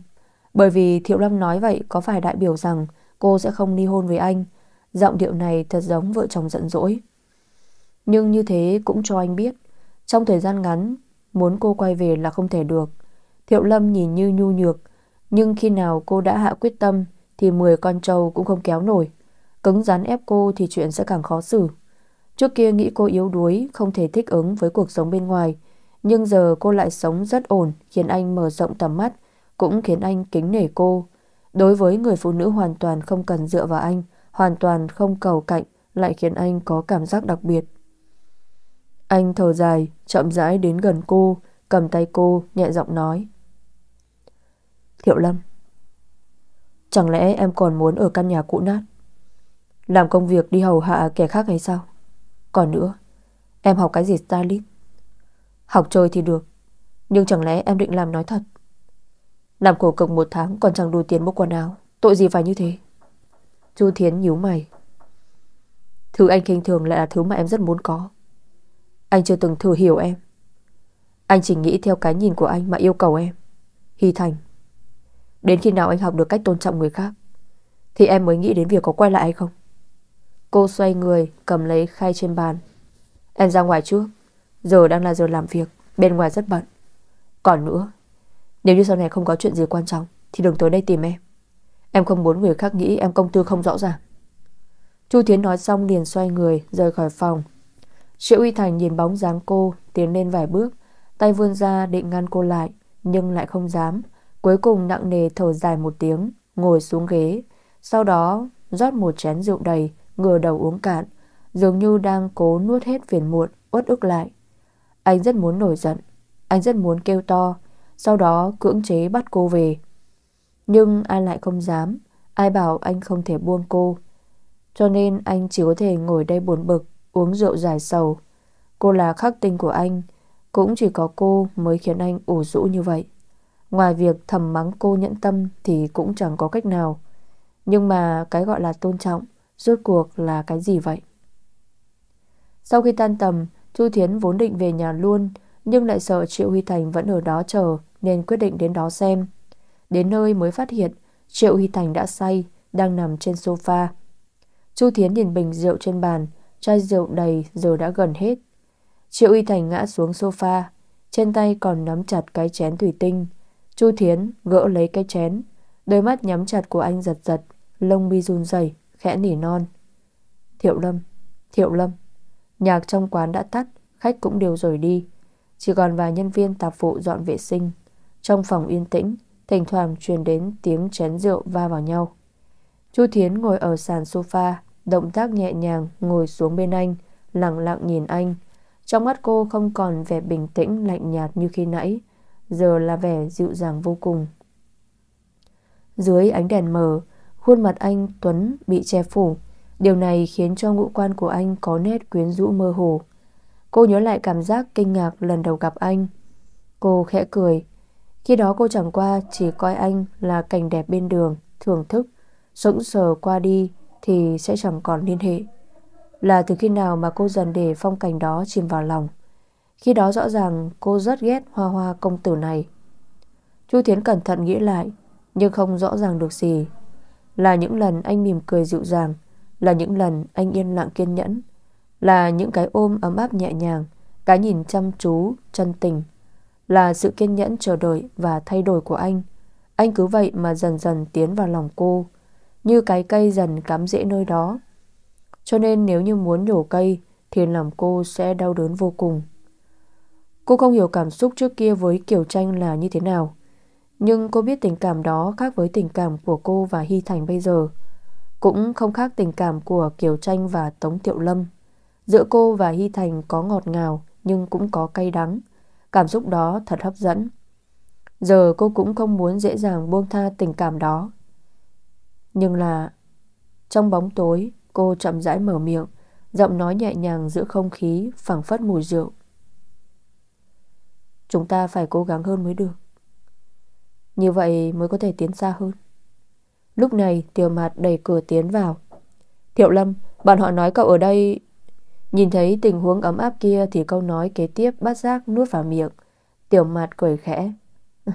Các cậu đang đùa gì thế? Say rượu kể lể nỗi lòng. Chu Thiến giữ nắm đấm một cái rồi mắng. Nói bừa cái gì? Anh ấy sai bất tỉnh nhân sự. Kể lể cái gì? Sai. Tiểu mặt đi tới. Đẩy đẩy thấy anh không có phản ứng gì thì nói. Đúng là sai rồi. Giờ làm thế nào?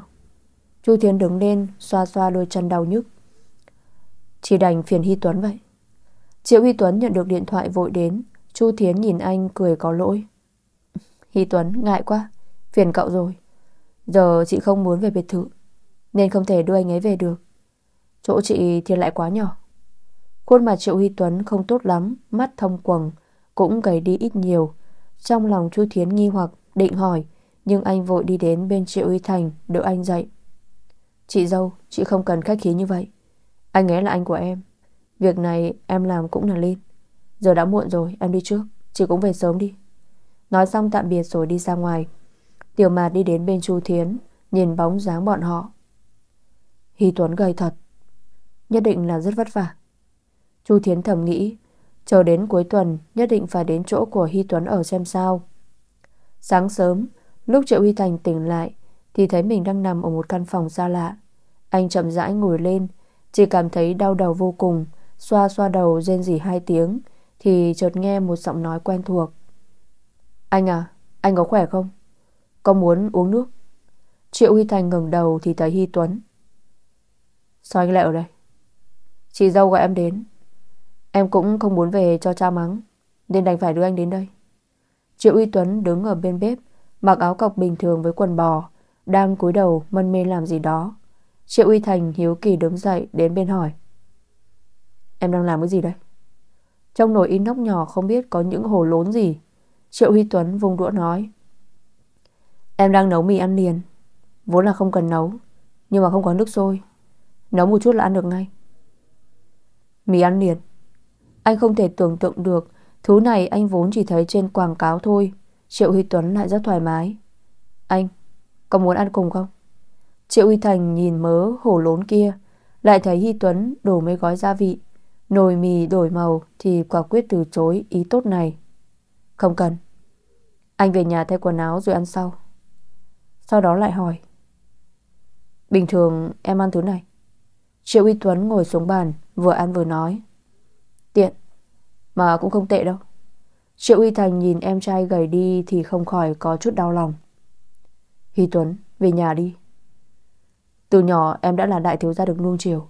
Sao có thể thích ứng với hoàn cảnh bên ngoài? Em xem, giờ em ở, ăn mặc, có thể bằng ở trong nhà sao? Còn cả thứ mà em đang theo đuổi nữa, có ý nghĩa gì?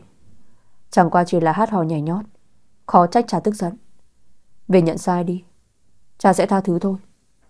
Nói xong anh ngồi xuống cạnh Hy Tuấn Triệu Huy Tuấn ngừng đầu nhìn anh một cái rồi nói Tối ngày hôm qua anh nói như vậy với chị dâu đúng không? Chị dâu có đồng ý về cùng với anh không?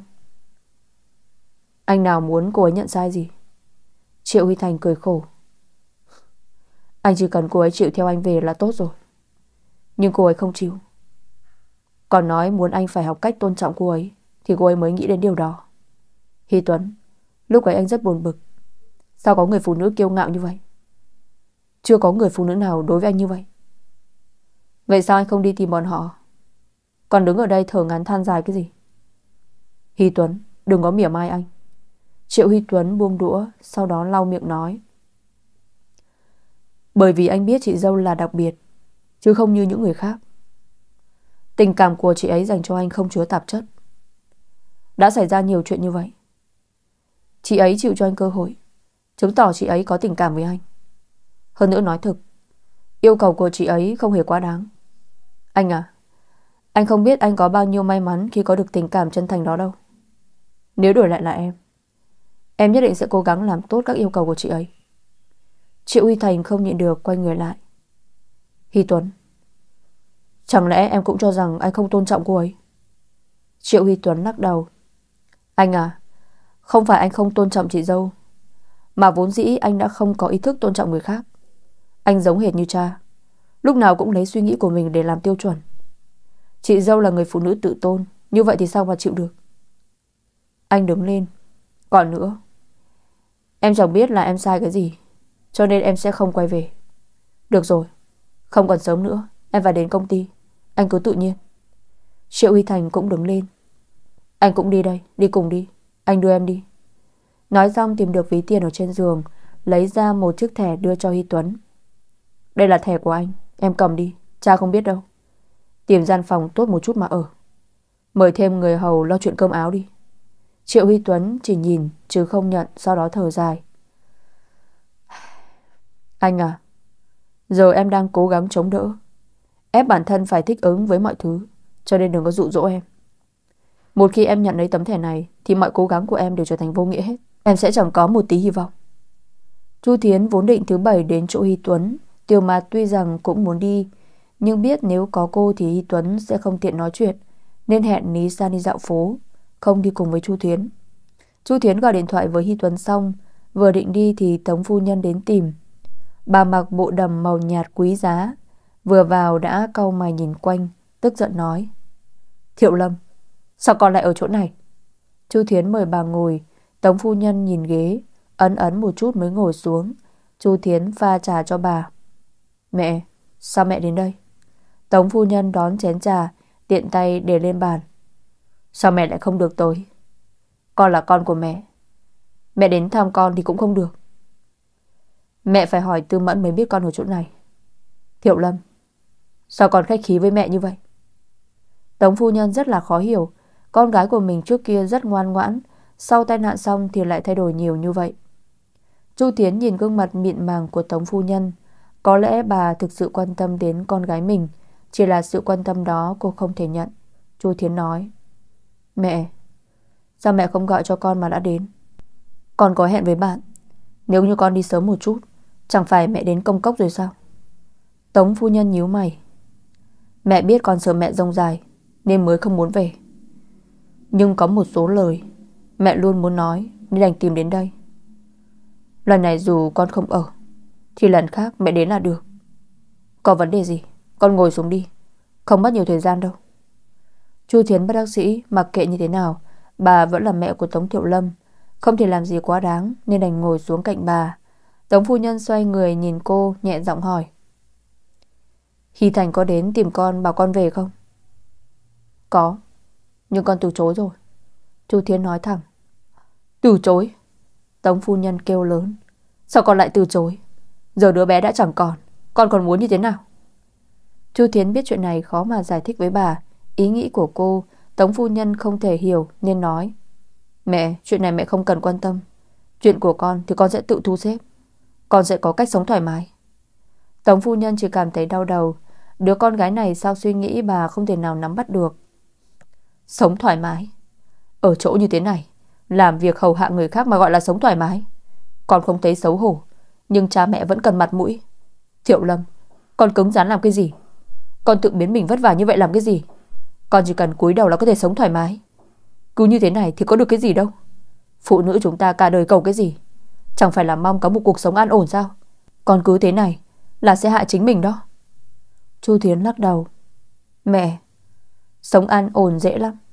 Con yêu cầu chẳng cao, Không cần lâu dài. Kẻ hầu người hạ. Nhưng người làm bạn đời thì lại không dễ tìm. Con cũng mong đó là Hy Thành. Nhưng giờ anh ấy còn chưa đạt được yêu cầu của con. Tống phu nhân kinh ngạc. Hy Thành còn không đạt được yêu cầu của con. Thiệu Lâm Mẹ nói cho con biết.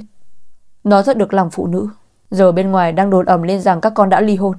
Triệu gia cũng không ra mặt làm rõ. Chỉ là đang đợi thái độ của con. Nếu con không mau quay về để cho lời đồn tự tan Thì chẳng khác nào cho người phụ nữ khác cơ hội.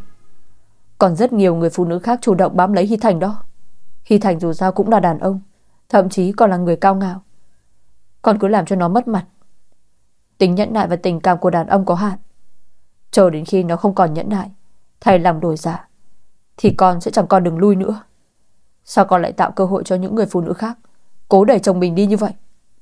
Tống phu nhân vẻ mặt vô cùng lo lắng, Bất kể suy nghĩ của bà đúng hay sai, Nhưng Chu Thiến vẫn cảm nhận được Bà thực lòng lo cho con gái. Chu Thiến mềm lòng, Cô cố gắng thử cho Tống phu nhân hiểu mình. Cô nắm tay bà, nhẹ nhàng nói, Mẹ, Nếu Hy Thành là người dễ dàng thay đổi như vậy con phòng được một lúc. Chứ sao phòng được cả đời. Loại đàn ông đó chẳng cần cũng được. Nếu như anh ấy yêu con, Đương nhiên sẽ vì tình cảm này mà cố gắng. Nếu như anh ấy chẳng muốn làm gì, Chứng tỏ con trong cảm nhận của anh ấy cũng chẳng là gì. Con trở lại bên anh ấy thì có gì vui vẻ? Ngay cả mỗi ngày cầm y ngọc thực, Con cũng không vui. Tống phu nhân nắm tay cô thở dài. Thiệu Lâm à? Mẹ không hiểu suy nghĩ của con. Tình cảm gì đó mẹ nhìn không hiểu. Những thứ đó quan trọng như vậy sao? Mẹ chỉ mong con sống một cuộc sống nhàn nhã Cơm áo không lo. Nếu như con thực sự mất Thi Thành, Thì tương lai con sẽ rất vất vả. Chu Thiến cười khẽ. Mẹ, đừng lo cho con. Con không cần dựa vào bất kỳ ai Cũng có thể sống tốt. Nếu như Hy Thành không đạt được yêu cầu của con, Thì trên đời này có nhiều đàn ông như vậy. Sẽ luôn có người thích cầu với con. Cho dù mất anh ấy, Cũng chẳng có gì đáng sợ. Tất cả là đều tại Văn Phương kia. Dòng Tống Phu Nhân oán hận. Nếu như không phải là vì con bé đó, Con và Hy Thành đã thật hạnh phúc. Cái con đàn bà thối tha đó. Chúng ta nuôi dưỡng nó. Không ngờ nó lấy oán trả ơn. Nó có cái cùng này là xứng đáng. Nếu nó rời khỏi thành phố này thì thôi. Nếu còn dám ở lại đây lén lút gây rối, Thì xem xem Mẹ có bóp nát nó không? Nói xong, Tống Phu Nhân đứng lên, Vỗ vỗ quần áo trên người. Được rồi, mẹ đi đây. Nếu con đã hạ quyết tâm, Thì mẹ cũng không nhiều lời. Chẳng qua cha con là người cố chấp. Nếu con có vấn đề gì với Hy Thành, Thì chỉ sợ ông khó mà tha thứ cho con. Bà hơi dừng lại, Mặt thoáng trần trừ Như có gì muốn nói Mà không tiện mở miệng, Do dự hồi lâu, Cuối cùng vẫn nói ra. Gần đây cha còn ít về nhà. Đứa em gái kia chẳng biết có vận cứt chó gì Mà lấy được chủ tịch tập đoàn quốc tế Hợp Hoa. Tuy rằng lớn tuổi, Là vợ lẽ, nhưng cả đời cũng thoải mái. Con gái tốt, Hồ ly tinh kia không biết vui vẻ thành cái gì nữa. Ngày nào cũng cuốn lấy cha con. Cha con có thông gia thế Thì cũng rất vui. Thiệu Lâm, Nếu con thực sự cắt đứt với Hy Thành, Thì địa vị của mẹ con chúng ta Trong lòng cha con Đúng là xuống dốc không phanh. Nói xong, bà nhẹ nhàng thở dài một tiếng. Chậm rãi đi ra ngoài. Chu Thiến mới đầu còn đang suy nghĩ, Cô có em gái bao giờ? Nhưng nhớ ra một điều, Tống Chí Hào có nhiều con riêng. Chu Thiến không biết nên nói gì, Chỉ đi theo tiễn mẹ. Xe của Tống Phu Nhân chờ ở dưới lầu. Trước khi lên xe, Tống Phu Nhân xoay người tạm biệt Chu Thiến. Dưới ánh mặt trời, Chu Thiến phát hiện Dưới màu tóc nâu của bà Loáng thoáng mấy sợi tóc bạc Khóe mắt, khóe miệng Cũng có chút nếp nhăn Cũng như Tống Phu Nhân không hiểu cô Cô cũng không thể hiểu suy nghĩ của bà Rốt cuộc là nguyên nhân gì khiến cho bà chết cũng không buông người đàn ông chẳng ra gì và cuộc hôn nhân rách nát đó. Chẳng lẽ bà có thể có niềm vui, hạnh phúc từ đoạn hôn nhân này, cô thực sự là không thể hiểu. Tống phu nhân đi rồi, Chu Tiến chuẩn bị đi đến chỗ Hy Tuấn. Còn chưa đi đã nhận được điện thoại của Hy Tuấn. Thì ra anh có việc gấp, cần đến công ty, có việc đột xuất. Không đến chỗ Hy Tuấn được, Chu Thiến tĩnh tâm ôn tập lại bài học tuần qua. Tuần này kiểm tra vì tâm trạng không ổn định nên không được loại tốt, chỉ được loại khá khiến cô rất hối hận. Cũng may cả lớp chỉ có Trung Bân, Hồ Giai Giai, Tiểu Mạt là từ trước đến giờ luôn được tốt. Chỉ cần lần sau cố gắng thi thì vẫn có thể vào top 10. Tiểu Mạt đi mãi, đến trước giờ đi làm mới về. Đi dạo cả ngày chẳng mua gì cho mình, nhưng lại mua cho Chu Thiến một chiếc cặp tóc pha lê. Cái cặp kia của cậu cũ rồi Cái này mới đẹp. Tiểu mạt cười tùm tìm nói. Chu Thiến cười nhận lấy Trong lòng cảm kích ý tốt của cô. Hai người ăn cơm rồi đến quán bar. Mãi đến tối sắp tan tầm Chu Thiến mới nhận được điện thoại của Hy Tuấn. Nhưng trong điện thoại lại có một giọng nói xa lạ. Xin hỏi cô có biết chủ nhân số điện thoại này không? Giờ anh ấy say bất tỉnh ở quán bar của chúng tôi. Chu Thiến cảm ơn người nọ rồi xin nghỉ sớm, vội vội vàng vàng đến quán bar kia. Nhân viên quán bar thấy cô thì nói. Vừa rồi người nói chuyện với tôi là cô à? Chu Thiến gật đầu, nhân viên tạp vụ dẫn cô đến bên Triệu Huy Tuấn. Lúc này Triệu Huy Tuấn gục xuống bàn, người đầy mùi rượu. Chúng tôi sắp tan tầm rồi. Nhân viên kia khó xử. Được rồi, tôi lập tức đưa anh ấy đi. Nhân viên tạp vụ rời đi rồi, Chu Thiến vỗ vai Triệu Huy Tuấn. Hy Tuấn, Hy Tuấn, tỉnh lại đi. Vỗ một hồi, Hy Tuấn khó khăn ngừng đầu, ánh mắt mơ hồ. Anh nhìn Chu Thiến một hồi, rồi mới khẽ lẩm bẩm. Là chị dâu à? Chu Thiến nhìn máy chai rượu trên bàn, nhíu mày nói. Hy Tuấn, sao em lại uống nhiều rượu như vậy? Chị gọi anh cả đến được không? Hy Tuấn nghe cô nói vậy thì về mặt kích động, tay vung lớn, kêu to. Đừng, đừng để bọn họ thấy em như thế này. Anh lảo đảo đứng dậy. Em không muốn gặp bọn họ. Anh đi về phía trước, nghiêng ngả lảo đảo, chỉ thoáng chốc đã đụng vào bàn, ngã xuống đất. Chu Thiến vội vàng chạy tới, nâng anh dậy. Lúc này, tóc tai Hy Tuấn rối bời, dâu lởm chởm, ánh mắt rời rạc, vẻ mặt suy sụp, đâu còn là Hy Tuấn tỏa sáng dạng người trên sân khấu nữa. Chu Thiến đau lòng, rốt cuộc là chuyện gì mà khiến anh trở thành dạng này. Chu Thiến thấy anh không muốn gặp người nhà thì gọi nhân viên tạp vụ khi nãy đến, nhờ anh giúp mình đỡ cùng Hy Tuấn ra xe taxi. Vừa ra đến ngoài, gió lạnh ban đêm thổi tới, Triệu Hy Tuấn đột nhiên né ra, ngồi xuống rồi bắt đầu nôn. Nhân viên tạp vụ ở bên cạnh nói Để anh ấy nôn ra thì sẽ khá hơn nhiều Hẳn là tự lên xe được Tôi vào trước Bên trong còn phải làm vệ sinh. Chu Thiến gật gật đầu, vội cảm ơn. Đợi người kia đi vào, Chu Thiến tìm trong túi trước khăn tay, Đưa cho Hy Tuấn lau miệng. Hy Tuấn ngừng đầu, Vẻ mặt tái nhợt, Nhưng ánh mắt có chút tỉnh táo. Anh nhìn Chu Thiến, thần sắc bối rối. Chị dâu, Phiền chị rồi. Chu Thiến dìu anh đứng lên. Chị đưa em về nhà đã. Không cần, Em tự về là được rồi. Em uống nhiều như vậy, Bảo chị yên tâm thế nào được? Chu Thiến kiên quyết. Chu Thiến đưa anh tới taxi, Đi đến chỗ Hy Tuấn, Rồi lại đỡ anh lên. Dọc đường đi, Tuy rằng Hy Tuấn rất cố gắng ổn định bước đi, Nhưng vẫn không khỏi lảo đảo. Hy Tuấn lấy ra chìa khóa, Tay run run nhưng không thể mở được. Sau đó vẫn là Chu Thiến, Đón lấy chìa khóa mở cửa đi vào. Chu Thiến tìm được công tắc điện ở bên tường, Bật đèn, Đỡ anh nằm lên giường, Kê gối cho anh nằm thoải mái, Định pha trà giải rượu nhưng phát hiện trong nhà không có nước nóng, Cũng chẳng có trà. Chu Thiến nghĩ, Người say rượu hẳn rất khát nước, Nên định đun cho anh một bình nước sôi. Tìm khắp quanh bếp lại không phát hiện ra ấm đun nước. Hy Tuấn, Ấm đun nước nhà em ở đâu?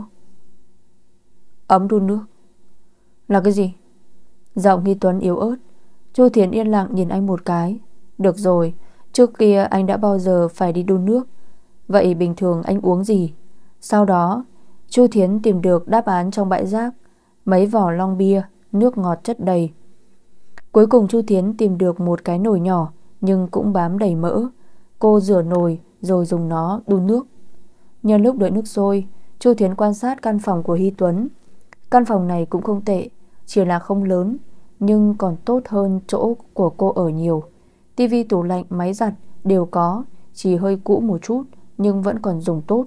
Đồ dùng trong nhà có vẻ mới Tủ quần áo khá lớn. Nhưng Chu Thiến nhíu mày Có vẻ nhà đã lâu không quét dọn Quần áo răng khắp nhà.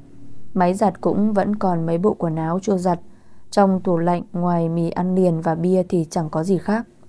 Triệu Huy Tuấn không biết tự chăm sóc bản thân Nhưng cũng không thể trách anh. Anh từ nhỏ đến lớn đều được người hầu hạ nên vốn không có chuẩn bị cho mình kỹ năng này.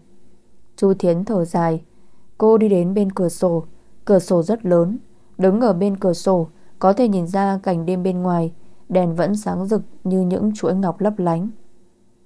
Hy Tuấn, em ở đây thật không tệ, cảnh rất đẹp. Hy Tuấn nhìn Chu Thiến đứng bên cửa sổ, ánh trăng lặng lẽ chiếu lên người cô, tựa như phủ lên người cô một tầng lụa mỏng.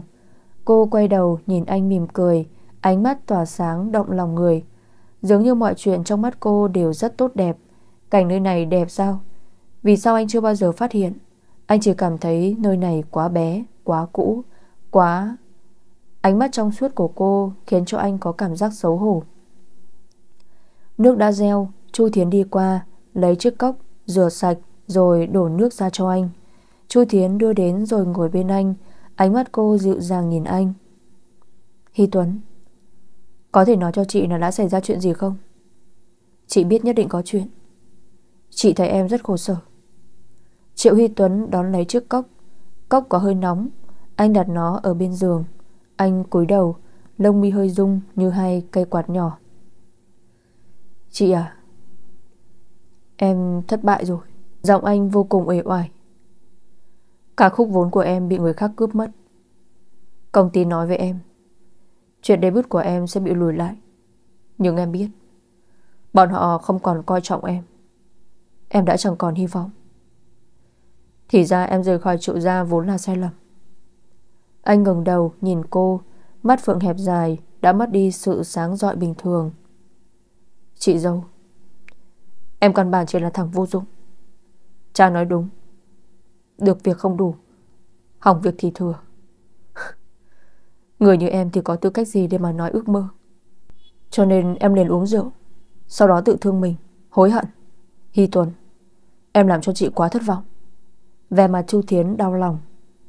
Em nghĩ vừa rời khỏi triệu gia Là có thể gặp may mắn luôn sao? Giấc mơ của em chỉ có thế thôi à? Bởi vì tạm thời chưa thể bút Mà em phủ định bản thân. Một chút khó khăn cũng không chống đỡ nổi.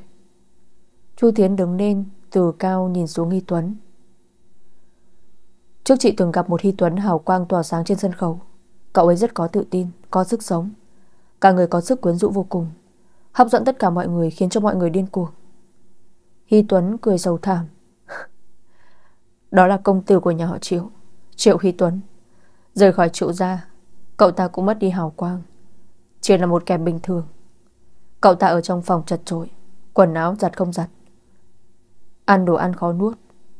Bị người trong công ty chăm chọc, Khiêu khích. Như vậy thì còn hào quang gì? Như vậy mà còn muốn lên sân khấu. Đúng là làm trò cười. Hy Tuấn, Chị nhìn nhầm em rồi. Chu Thiến nhẹ nhàng nói. Triệu Huy Tuấn ngẩn ra, Sắc mặt tái nhợt nhìn cô, Trong mắt đầy đau xót. Anh cảm thấy tim như bị cứa mạnh, Đau đớn vô cùng. Triệu Huy Tuấn như bị kích thích Mà hét. Đúng. Em đáng bị người khác coi thường. Người như em còn nói cái gì mà giấc mộng, Còn mơ hão thành công. Không tự lượng sức mình mà rời khỏi triệu gia. Rồi em bị như thế này thì đáng bị người khác cười nhạo, Bị người khác Bốp. Chu Thiến nghiêm mặt tát Triệu Huy Tuấn một bạt tai. Triệu Huy Tuấn bị cắt ngang, anh bưng mặt khó tin nhìn cô. Lúc này trong đôi mắt lạnh băng của cô có sự tức giận ẩn sâu. Hy Tuấn, nên có người đánh em tỉnh lại. Nếu như em thực sự yếu ớt như vậy, một chút khó khăn cũng chấp nhận thất bại, thì để chị đánh em đi. Nhưng xin em hãy nhặt lại những cố gắng của mình, ghép chúng trở về đi. Dùng sự tự tôn của em mà gắn kết nó lại. Em sẽ phát hiện ra, thì ra em có thể kiên cường hơn bản thân em nghĩ. Trong phòng yên tĩnh, đèn huỳnh quang chiếu sáng như ban ngày, cùng chiếu sáng khuôn mặt tuấn tú của Triệu Huy Tuấn.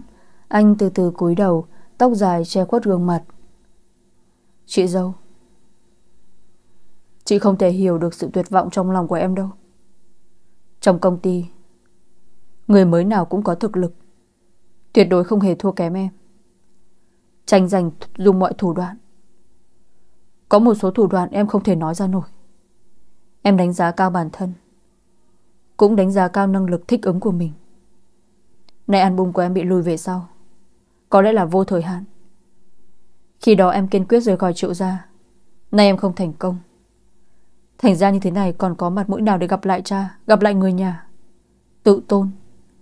Giờ em còn có thể nói cái gì mà tự tôn? Em cần bản là chẳng thể ngóc đầu dậy. Giọng anh vô cùng bi quan, Nản lòng. Chu Thiến thấy vậy Nhớ lại bộ dáng hăng hái trước kia của anh, Tim không khỏi mềm lại. Sao có thể hoàn toàn trách anh được? Anh từ nhỏ đã được chăm sóc chu đáo, Nay đột nhiên mất đi tất cả chỗ dựa. Một mình dấn thân vào hoàn cảnh khó khăn, Trong lòng sợ hãi bối rối là có thể hiểu. Có thể dũng cảm cố gắng đến bây giờ đã là không tệ. Giờ anh cần nhất là sự cổ vũ. Mình khi nãy hình như có hơi quá đáng. Chu Thiến ngồi xuống bên cạnh anh, Dịu dàng nói. Hy Tuấn. Chuyện tuyệt đối không tồi tệ như em nghĩ. Em có khả năng hơn em nghĩ nhiều. Thực lực của em không ai có thể phủ nhận. Điều này em nhất định phải tin tưởng. Công ty em muốn ký hợp đồng với em. Chẳng phải là minh chứng tốt nhất hay sao? Cơ hội lần này mất, Thì chúng ta có thể chờ lần sau. Triệu Uy Tuấn ngừng đầu, Ánh mắt mê man. Em còn có thể chờ lần sau. Chu Thiến không suy nghĩ. Đôi mắt đen náy lóe ra ánh sáng kiên định. Nhất định là có. Là vàng thì nhất định sẽ sáng lên. Không có cơ hội Thì chúng ta sẽ tự tạo cơ hội. Nhưng trước đó chúng ta nhất định phải làm tốt công tác chuẩn bị, Làm cho vàng lộ ra ánh sáng của nó. Mà bây giờ em cần chính là nghỉ ngơi. Chu Thiến bưng chén nước lên. Uống nước đi đã. Vừa rồi em nôn nhiều như vậy. Người nhất định rất thiếu nước. Sẽ không tốt cho da. Uống nước xong thì đừng nghĩ nhiều. Cũng ngủ một giấc cho thoải mái. Đôi mắt như ngọc của cô lặng lặng nhìn anh, Trong giọng nói có sự kiên định Không cho phép từ chối. Hy Tuấn lặng yên đón lấy chén nước rồi uống. Chu Thiến chỉnh gối, Ý bảo anh nằm xuống rồi nói, Giờ cũng không còn sớm, Chị phải về đã. Mai sẽ là đến xem em. Sau đó cô cười với anh, Nụ cười bình thản xinh đẹp, Khiến anh được trấn an rất nhiều. Anh chui đầu vào chăn, Chỉ chốc lát đã nghe tiếng cô đứng lên, Tắt điện rồi đóng cửa. Đến lúc này anh mới vươn đầu ra. Trong bóng đêm, anh thở dài một tiếng. Ngày hôm sau, Khi Chu Thiến đến, Tay cầm đủ các loại túi lớn, túi nhỏ. Hy Tuấn hỏi, Chị dâu, Cái gì đây? Chu Thiến cười, Là đồ ăn chị mua, Tí nữa chị sẽ nấu cho em. Chu Thiến nhìn Hy Tuấn, Sắc mặt của anh còn có hơi tái, Tóc hỗn độn, Trên người vẫn là quần áo hôm qua, Hiển nhiên là vừa mới ngủ dậy. Chu Thiến nói với anh. Đi tắm đi đã. Cạo dâu cho sạch vào. Như dân chạy nạn. Khó coi chết đi được. Hy Tuấn sờ sờ cầm Ngượng ngùng cười cười. Anh cũng không định bẩn thỉu mà gặp cô Nên rất nghe lời đi tắm rửa. Lúc đi ra Thấy Chu Thiến đang cúi người thu dọn quần áo các nơi. Hy Tuấn vội ngăn lại. Chị dâu, chị làm gì thế? Chị không phải làm mấy cái này. Để chút em dọn. Chu Thiến lại cười đẩy anh ra, Cô cúi đầu, vừa thu dọn quần áo vừa nói. Hy Tuấn, Đầu tiên chúng ta phải thực sự chăm sóc tốt cho cuộc sống của chính mình, Thì làm việc khác mới tốt được. Cô đặt quần áo lên giường Đọc ra bẩn một bên, Sạch một bên, Quần áo sạch thì gập gọn gàng. Hy Tuấn, Hoàn cảnh vật chất sung túc Sẽ khiến cho khí chất của con người tăng lên rất nhiều, Nhưng hào quang của chúng ta đều do chính mình tạo ra. Cho dù em không phải là nhị thiếu gia của triều thị Thì em cũng vẫn phải là em. Em phải thực sự sống thật tốt Thực sự đối xử tốt với chính mình. Có lẽ bắt đầu sẽ có chút khó khăn Nhưng mà trong ngàn lần đừng nản chí. Như vậy thì ánh sáng của em sẽ tự nhiên mà tỏa sáng Ai cũng không che lấp được. Cô kéo anh đến trước gương Trong gương có hai khuôn mặt Một tươi, cười, rực rỡ Một tái nhợt gầy yếu. Cô nhìn anh qua gương, cười Nụ cười như ánh mặt trời Hai mắt có sự nghiêm túc mà ấm áp Triệu Huy Tuấn kinh ngạc nhìn nụ cười của cô mà như quên mất bản thân. Bên tai lại vang lên giọng nói nhu hòa của cô. Huy Tuấn, không phải là quý công tử cũng chẳng sao.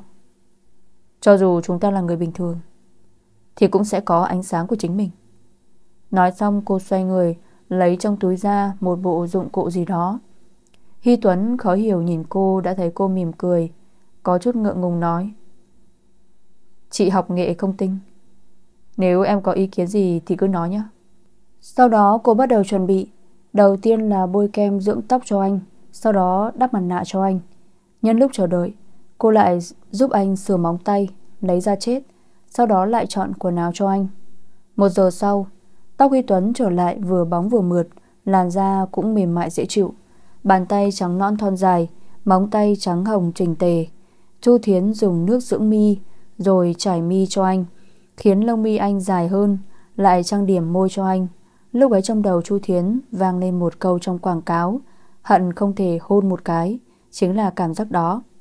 Chu Thiến chọn cho anh một chiếc áo phông cộc tay in chữ, quần bò bình thường, sau đó cô vuốt tóc anh ra đằng sau để lộ ra vầng trán, dùng chiếc chun màu đen buộc tóc lại.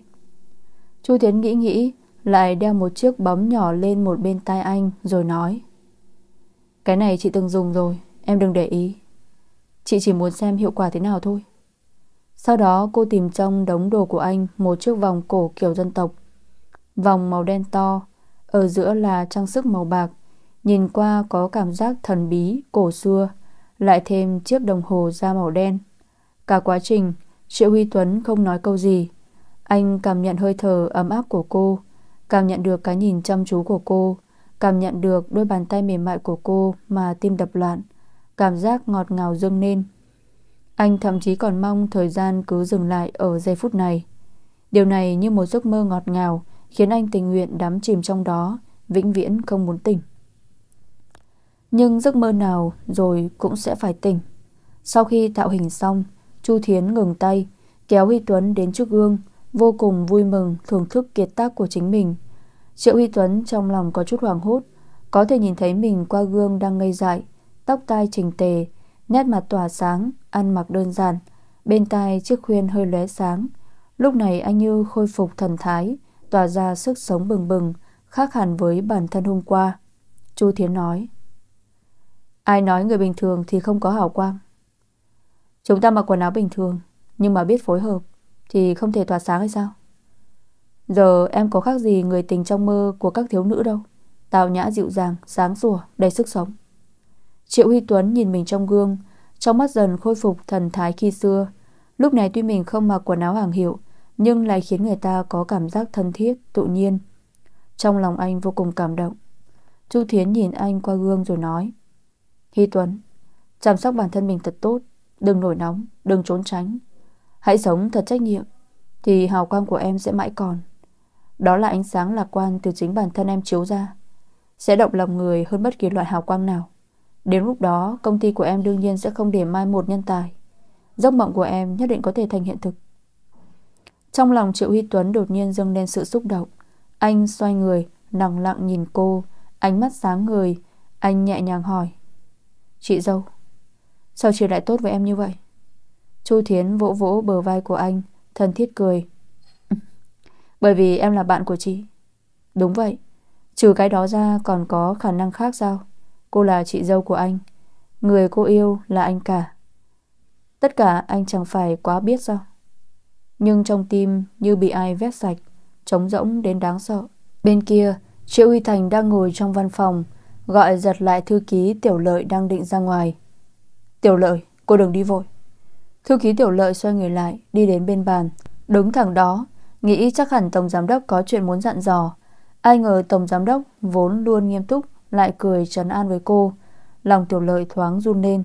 Tuy rằng Mỹ Nam cười rất đẹp, Nhưng nụ cười xuất hiện trên mặt của Tổng Giám Đốc Kiểu gì cũng thấy rất quỷ dị. Nhất là thời gian gần đây, Vẻ mặt của anh lúc nào cũng như muốn giết người. Triệu Huy Thành chỉ về phía ghế đối diện, Ý bảo cô ngồi xuống. Còn có thể ngồi xuống trước mặt Tổng Giám Đốc. Tiểu lợi có chút hoàng sợ Trong lòng lo lắng. Không biết Tổng Giám Đốc có chuyện gì Nhất định không đơn giản. Đang lúc Tiểu lợi nén lau mồ hôi lạnh Thì Triệu Huy Thành bắt đầu mở miệng. Anh nghiêng người về phía trước Thần thần bí bí. Tiểu lợi Hình như cô đã có bạn trai. À, Vâng. Chẳng lẽ công ty không cho nhân viên nữ có bạn trai Hình như không có quy định biến thái đó. Bạn trai của cô có tốt với cô không? Cũng tốt. Tiểu lợi cẩn thận đáp. Triệu Uy Thành lại nghiêng người về phía trước thêm một chút. Anh ta có tôn trọng cô không? Hai mắt nhìn tiểu lợi chằm chằm. Tiểu lợi bị anh nhìn mà hoàng sợ. Đây là tình huống gì? Tổng giám đốc sao lại có hứng thú với đời tư của cô? Tổng giám đốc, Anh Rốt cuộc là muốn biết cái gì?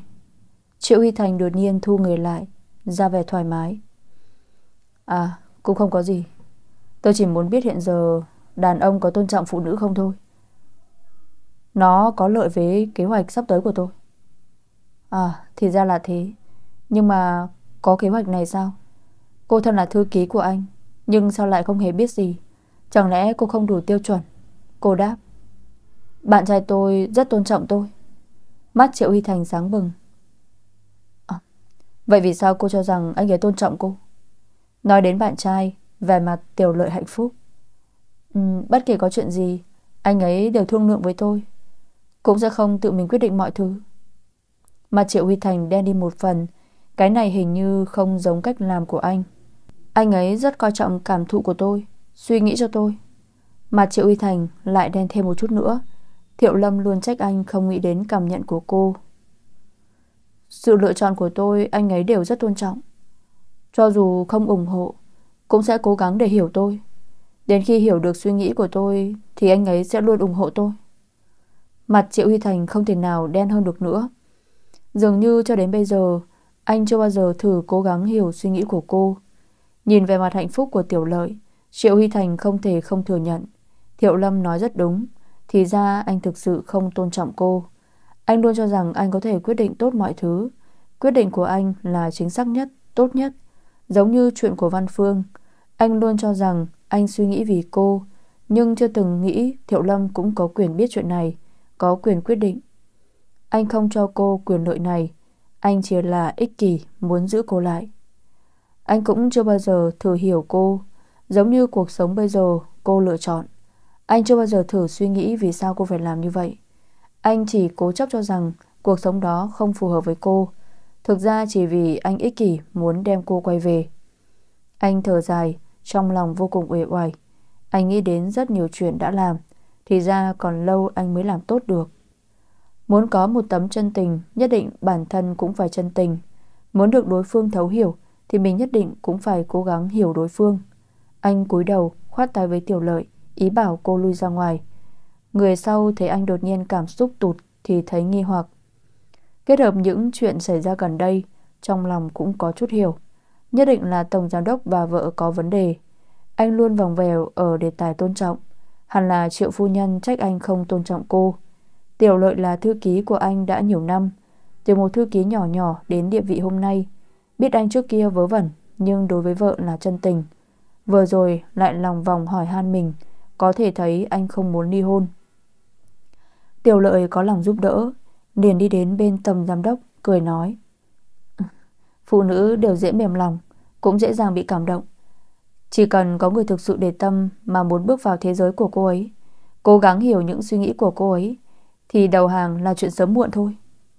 Triệu Huy Thành ngẩng đầu gắt gao nhìn cô Hai mắt lóe sáng. Sau một hồi lâu anh mỉm cười Nụ cười đầy tự tin, đầy kiên định. Điều này khiến khuôn mặt anh tỏa ra ánh sáng chói mắt rung động lòng người Tiểu lợi đi ra ngoài một hồi Mới có thể thở bình thường lại Cô vuốt tim, thầm thấy may mắn.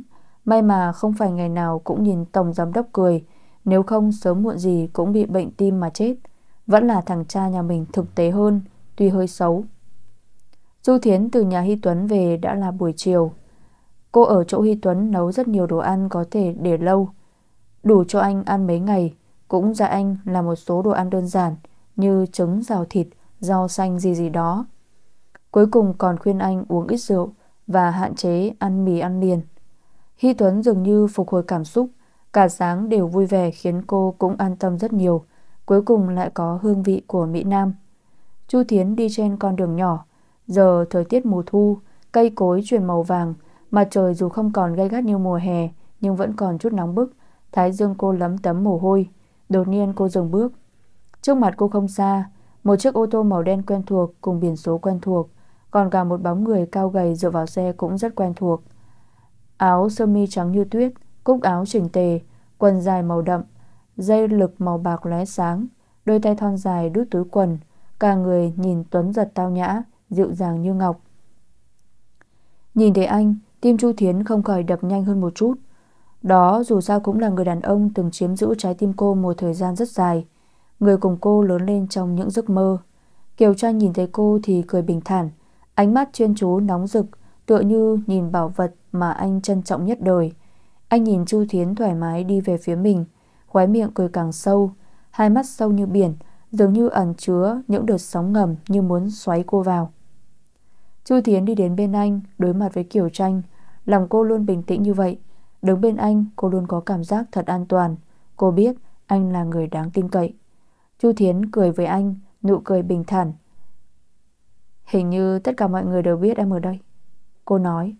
Kiều trang nhìn cô, ánh mắt thâm thúy. Mọi người đến đều chỉ là quan tâm đến người bọn họ muốn quan tâm thôi. Thiệu Lâm, Em thật may mắn. Xem ra có rất nhiều người quan tâm em. Cũng không hẳn. Nhưng có lẽ em đúng là người may mắn. Chu Thiến đi tới, Học theo anh dựa vào xe. Cô vừa mới dựa vào, Kiều Tranh đột nhiên xoay người ôm cô vào lòng. Tốc độ nhanh khiến cho Chu Thiến không phản ứng kịp. Đến khi cô ý thức lại, Thì đã bị anh ôm chặt trong lòng. Cảm giác có chút khó thở, Cũng nhanh chóng cảm nhận được tiếng tim đập mãnh liệt của anh. Trên người Kiều Tranh có mùi hương thản nhiên, thơm ngát, Tựa như không khí một buổi sớm mai trong lành. Cái ôm này Chu Thiến từng vô cùng mong nhớ Nhưng đến giờ Cô thường xuyên bị anh ôm vào lòng như vậy. Chỉ khác là trước kia đều là những cái ôm ấm áp dịu dàng Lúc này cái ôm này lại quá điên cuồng, liều lĩnh. Điều này khiến cho Chu Thiến có chút bối rối bất an. Anh ôm Chu Thiến thật chặt Chặt đến nỗi xương sườn cô hơi đau. Chu Thiến định đẩy anh ra Nhưng lại càng khiến anh ôm chặt hơn. Có đôi khi có người qua đường nhìn bọn họ Nhưng nay xã hội hiện đại Mọi người thấy cũng chẳng trách cứ, Xì xào, Chỉ mau chóng đi qua. Chu Thiến đột nhiên có chút sợ hãi, Kiều tranh cuồng nhiệt như vậy. Cô dễ dụa nói, Kiều tranh anh đừng như thế, Buông em ra. Hai tay Kiều tranh gắt gao ôm chặt cô Cảm anh cọ lên đỉnh đầu cô, Nhẹ nhàng nói vào tai cô, Cái gì không nên? Chúng ta trải qua bao nhiêu đau khổ, Bao nhiêu nước mắt, Vất vả lắm mới gặp lại em. Em lại hết lần này đến lần khác bức anh buông tay. Nếu như Triệu Hy Thành thực sự đối tốt với em, Thì anh cũng thôi. Thiệu Lâm, Việc anh ta làm với em anh đều biết. Anh sẽ không buông tay. Thiệu Lâm, Anh sẽ không bao giờ buông tay nữa. Em không nhớ chuyện trước kia cũng không sao. Chúng ta có thể bắt đầu lại một lần nữa. Chúng ta sẽ nhanh chóng lại có nhiều những kỷ niệm hạnh phúc. Giọng của anh trầm thấp lộ ra tình cảm sâu sắc Và sự đau đớn mơ hồ, Khiến lòng của Chu Thiến chua xót. Tình cảm của anh với Thiệu Lâm sâu như vậy, Nhưng Thiệu Lâm mãi mãi không thể quay về bên anh. Đó có phải nỗi đau cả đời của anh không? Chu Thiến thầm thở dài trong lòng, Đang chuẩn bị nói chuyện, Thì đột nhiên từ phía sau vang lên tiếng hét. Buông cô ấy ra. Tiếp sau, Một người như gió xoáy tiến đến, Dùng sức kéo Chu Thiến ra khỏi lòng của Kiều Tranh Sau đó dùng tốc độ xét đánh Không kịp bưng tai Mà đấm lên mặt của Kiều Tranh Kiều Tranh không kịp phản ứng đã bị đánh, Khóe miệng chảy máu đỏ tươi. Dưới ánh mặt trời Ánh mắt hung ác của Triệu Uy Thành nhìn chằm chằm vào Kiều Tranh đang ngã dưới đất, hai tay nắm chặt, khớp xương ẩn hiện tơ máu, không biết là máu của anh hay là của Kiều Tranh. Tay kia của anh như kìm sắt mà nắm chặt cổ tay Chu Thiến, gân xanh trên trán nổi rõ, biểu lộ sự tức giận của anh. Anh đứng đó, từ cao nhìn xuống Kiều Tranh, cả người tản ra hơi thở lạnh băng thấu xương, dường như không khí xung quanh cũng bị đông lại. Giọng anh như rít từ kẽ răng, như dùng hết sức lực mà áp chế lại, khiến người ta có cảm giác kinh hồn táng đảm. Kiều tranh Tôi vẫn nghĩ anh là quân tử. Thì ra chỉ là một kẻ tiểu nhân đùa giỡn vợ người. Anh dám có ý đồ với vợ tôi. Anh nghĩ Triệu Hy Thành tôi chết rồi hay sao? Tôi nói cho anh. Hôm nay một đòn này là tôi cảnh cáo anh. Về sau không cho phép anh tiếp cận Thiệu Lâm nữa. Nói cách khác, nếu như anh còn dám có ý đồ gì, thì tôi sẽ cho anh phải trả cái giá đắt. Chu Thiến thấy Kiều Tranh bị đánh ngã thì cũng muốn đỡ anh dậy. Nhưng cơn thịnh nộ của Triệu Huy Thành biết mình làm như vậy sẽ càng khiến anh tức giận. Đến lúc đó anh có thể làm gì cũng không biết được. Cho nên cô chỉ có thể đứng đó, lo lắng nhìn Kiều Tranh. Bất kể như thế nào, cô cũng không mong Kiều Tranh vì cô mà bị tổn thương. Hy Thành, anh bình tĩnh đi đã. Cô đứng sau anh nhẹ nói, hy vọng có thể trấn an cảm xúc của anh. Nhưng còn chưa nói xong, Triệu Huy Thành đã quay đầu lại. Hai mắt đỏ ngầu như con mãnh thú bị thương. Trong sự âm ngoan có sự thống khổ. Em im đi. Giờ em đừng nói gì cả. Một chữ cũng không cần nói. Anh giống giận, giọng đau đớn. Cho tới giờ anh cũng không thể chấp nhận nổi những gì mình đã nhìn thấy. Thiệu Lâm và Kiều Tranh gắt gao ôm nhau Rõ như ban ngày Bao người nhìn thấy. Cứ như vậy tình cảm không thể khống chế Mà không để ý gì sao. Dưới ánh mặt trời Hai người ôm chặt nhau ngoại hình tương xứng. Ai nhìn chẳng thấy là một đôi hoàn mỹ. Ý nghĩ đó khiến tim anh như bị dao cắt. Những lời của Văn Phương nói lại như cơn ác mộng hiện lên trong đầu anh. Đây mới là lý do chân chính. Khiến em không muốn quay lại phải không? Giọng nói có hơi run run, khí huyết nơi ngực cuồn cuộn. Tay anh nắm chặt tay cô khẽ run. Sắc mặt anh tái nhợt, ánh mắt ảm đạm, đau khổ, ẩn chứa ngọn lửa thiêu đốt, Tim Chu Thiến như bị kim đâm, Trong nháy mắt, Tay chân lạnh toát. Hy Thành, Nếu em nói là hiểu lầm, Nếu em nói chuyện không như anh nghĩ, Thì anh có tin không? Hai mắt đẹp của Chu Thiến nhìn anh không chớp. Trước mặt Kiều Tranh cô không thể nói là mình bị ép buộc. Tuy rằng cô biết điều này là khó tin, Nhưng trong lòng cô Cô vẫn mong anh có thể tin tưởng mình. Triệu Huy Thành gắt gao mím môi không nói gì. Bên kia Kiều Tranh thong thả đứng lên. Góc miệng của anh ửng hồng, Sâu mi trắng như tuyết bị nhiễm bẩn, Nhưng vẻ mặt anh vẫn thong dong, Động tác vẫn tao nhã. Anh lấy khăn tay, lau máu ở khóe miệng, Sau đó vứt khăn xuống đất. Động tác này tuấn nhã vô cùng. Anh nhìn Triệu Huy Thành cười khẽ, Trong nụ cười có sự châm chọc vô hạn. Triệu Huy Thành, Tôi thực sự bội phục anh. Bản thân anh làm ra những chuyện không ra gì. Nhưng còn ra vẻ đàng hoàng mà chất vấn Thiệu Lâm. Làm đàn ông mà đến trình độ như anh. Đúng là làm mất mặt đàn ông chúng tôi. Một câu nói lại khiến lửa giận trong lòng Triệu Huy Thành bốc cháy. Anh như con mãnh thú nhào tới chỗ Kiều Tranh. Chớp mắt đã vùng quyền đánh lên Kiều Tranh. Lòng Chu Tiến Hoàng sợ, Thiếu chút nữa kêu lớn. Nói thì chậm mà xảy ra thì nhanh. Kiều Tranh cũng nhanh chóng đón lấy quyền đó. Tay kia nắm chặt hung hăng đấm lại. Lực mạnh khiến Triệu Uy Thành không đứng nổi, Ngã xuống đất. Mọi thứ xảy ra quá nhanh. Chu Thiến ngẩn ngơ đứng đó, không kịp phản ứng. Đợi khi cô thấy vết thương trên mặt Hy Thành, Tim đau đớn, Cô định bước lên xem, Thì Kiều Tranh lại đi đến trước mặt Triệu Huy Thành. Kiều Tranh lạnh lùng nhìn anh. Anh nghĩ rằng tôi chỉ biết đánh người như anh sao? Một quyền này là đánh vì những gì anh đã làm với Thiệu Lâm. Thân là đàn ông, Anh quá ti tiện. Anh không xứng ở bên Thiệu Lâm. Tôi sẽ không để cho Thiệu Lâm ở bên cạnh anh. Thiệu Lâm vốn thuộc về tôi. Tình cảm của chúng tôi anh vĩnh viễn không thể hiểu được. Giờ tôi sẽ không nhường bước. Triệu Huy Thành, Anh có thủ đoạn gì thì cứ dùng. Chuyện của anh tôi nghe phong phanh cũng không ít. Xem xem anh làm gì được tôi. Sắc mặt Triệu Huy Thành âm trầm đáng sợ, Anh đứng lên, Phun ra một búng máu hung hăng nhìn chằm chằm Triều Tranh, người sau cũng lạnh lùng nhìn thẳng lại. Hồi lâu, Triệu Uy Thành đột nhiên cười.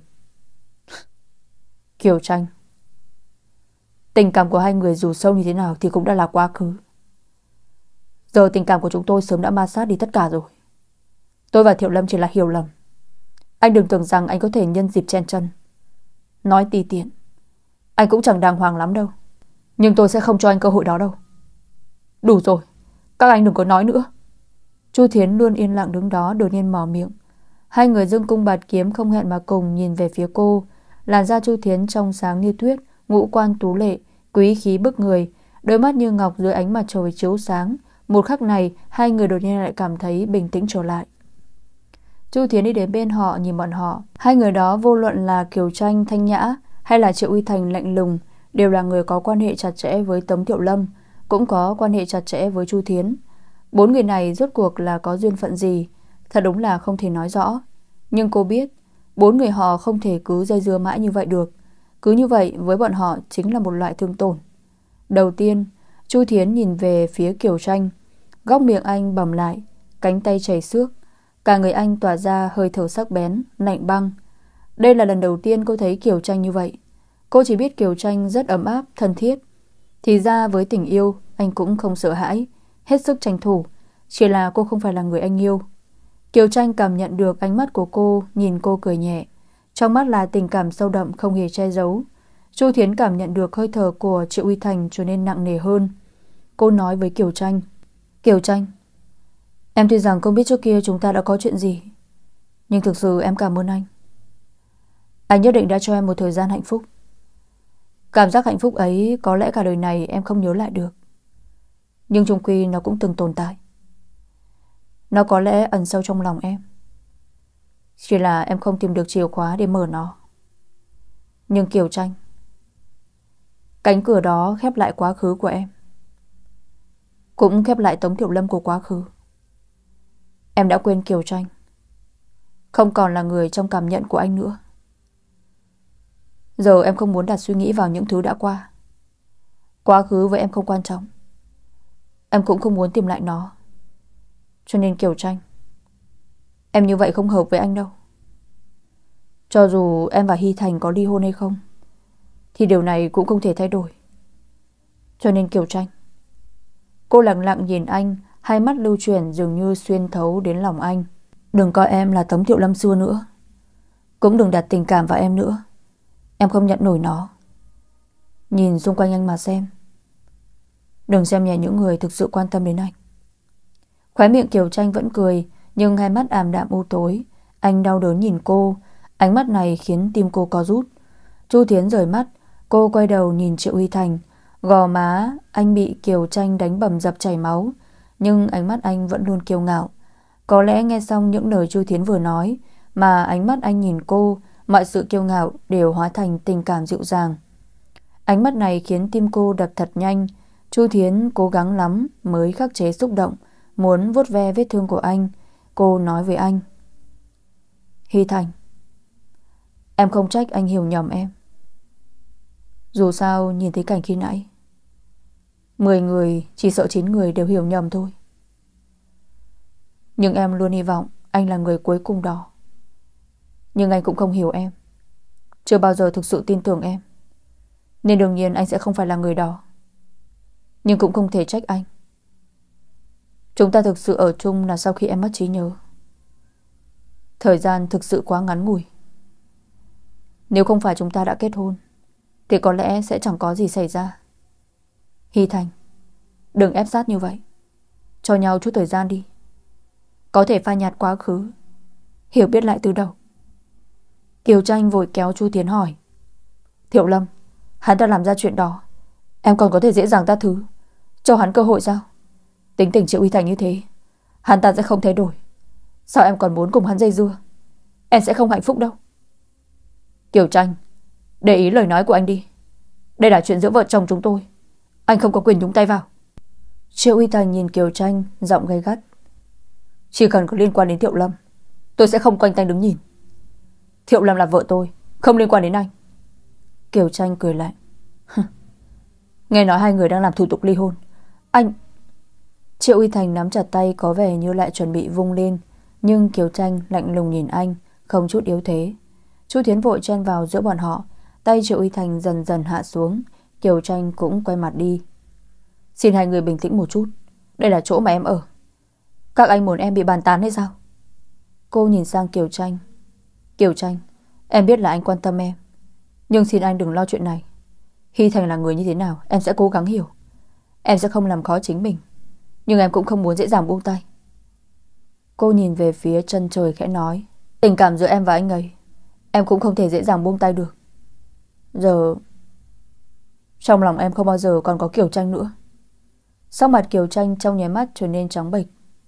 Sự bi thương trong mắt anh khiến Chu Thiến vô cùng khổ sở, Nhưng cô biết nếu không làm anh ấy hết hy vọng với Tống Thiệu Lâm, Thì anh sẽ mãi mãi không thể hạnh phúc. Thiệu Lâm. Thì ra em có thể tàn nhẫn như vậy.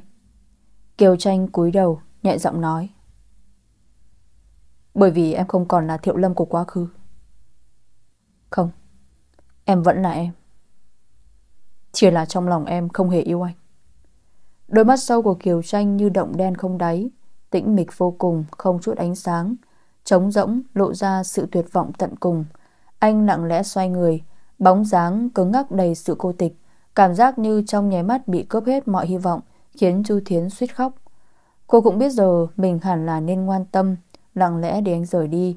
Nhưng bóng lưng anh cô đơn như vậy, Người đàn ông ấy đã cho cô sự ấm áp vô tận, Nhưng cô lại trả lại cho anh sự tàn nhẫn xót xa.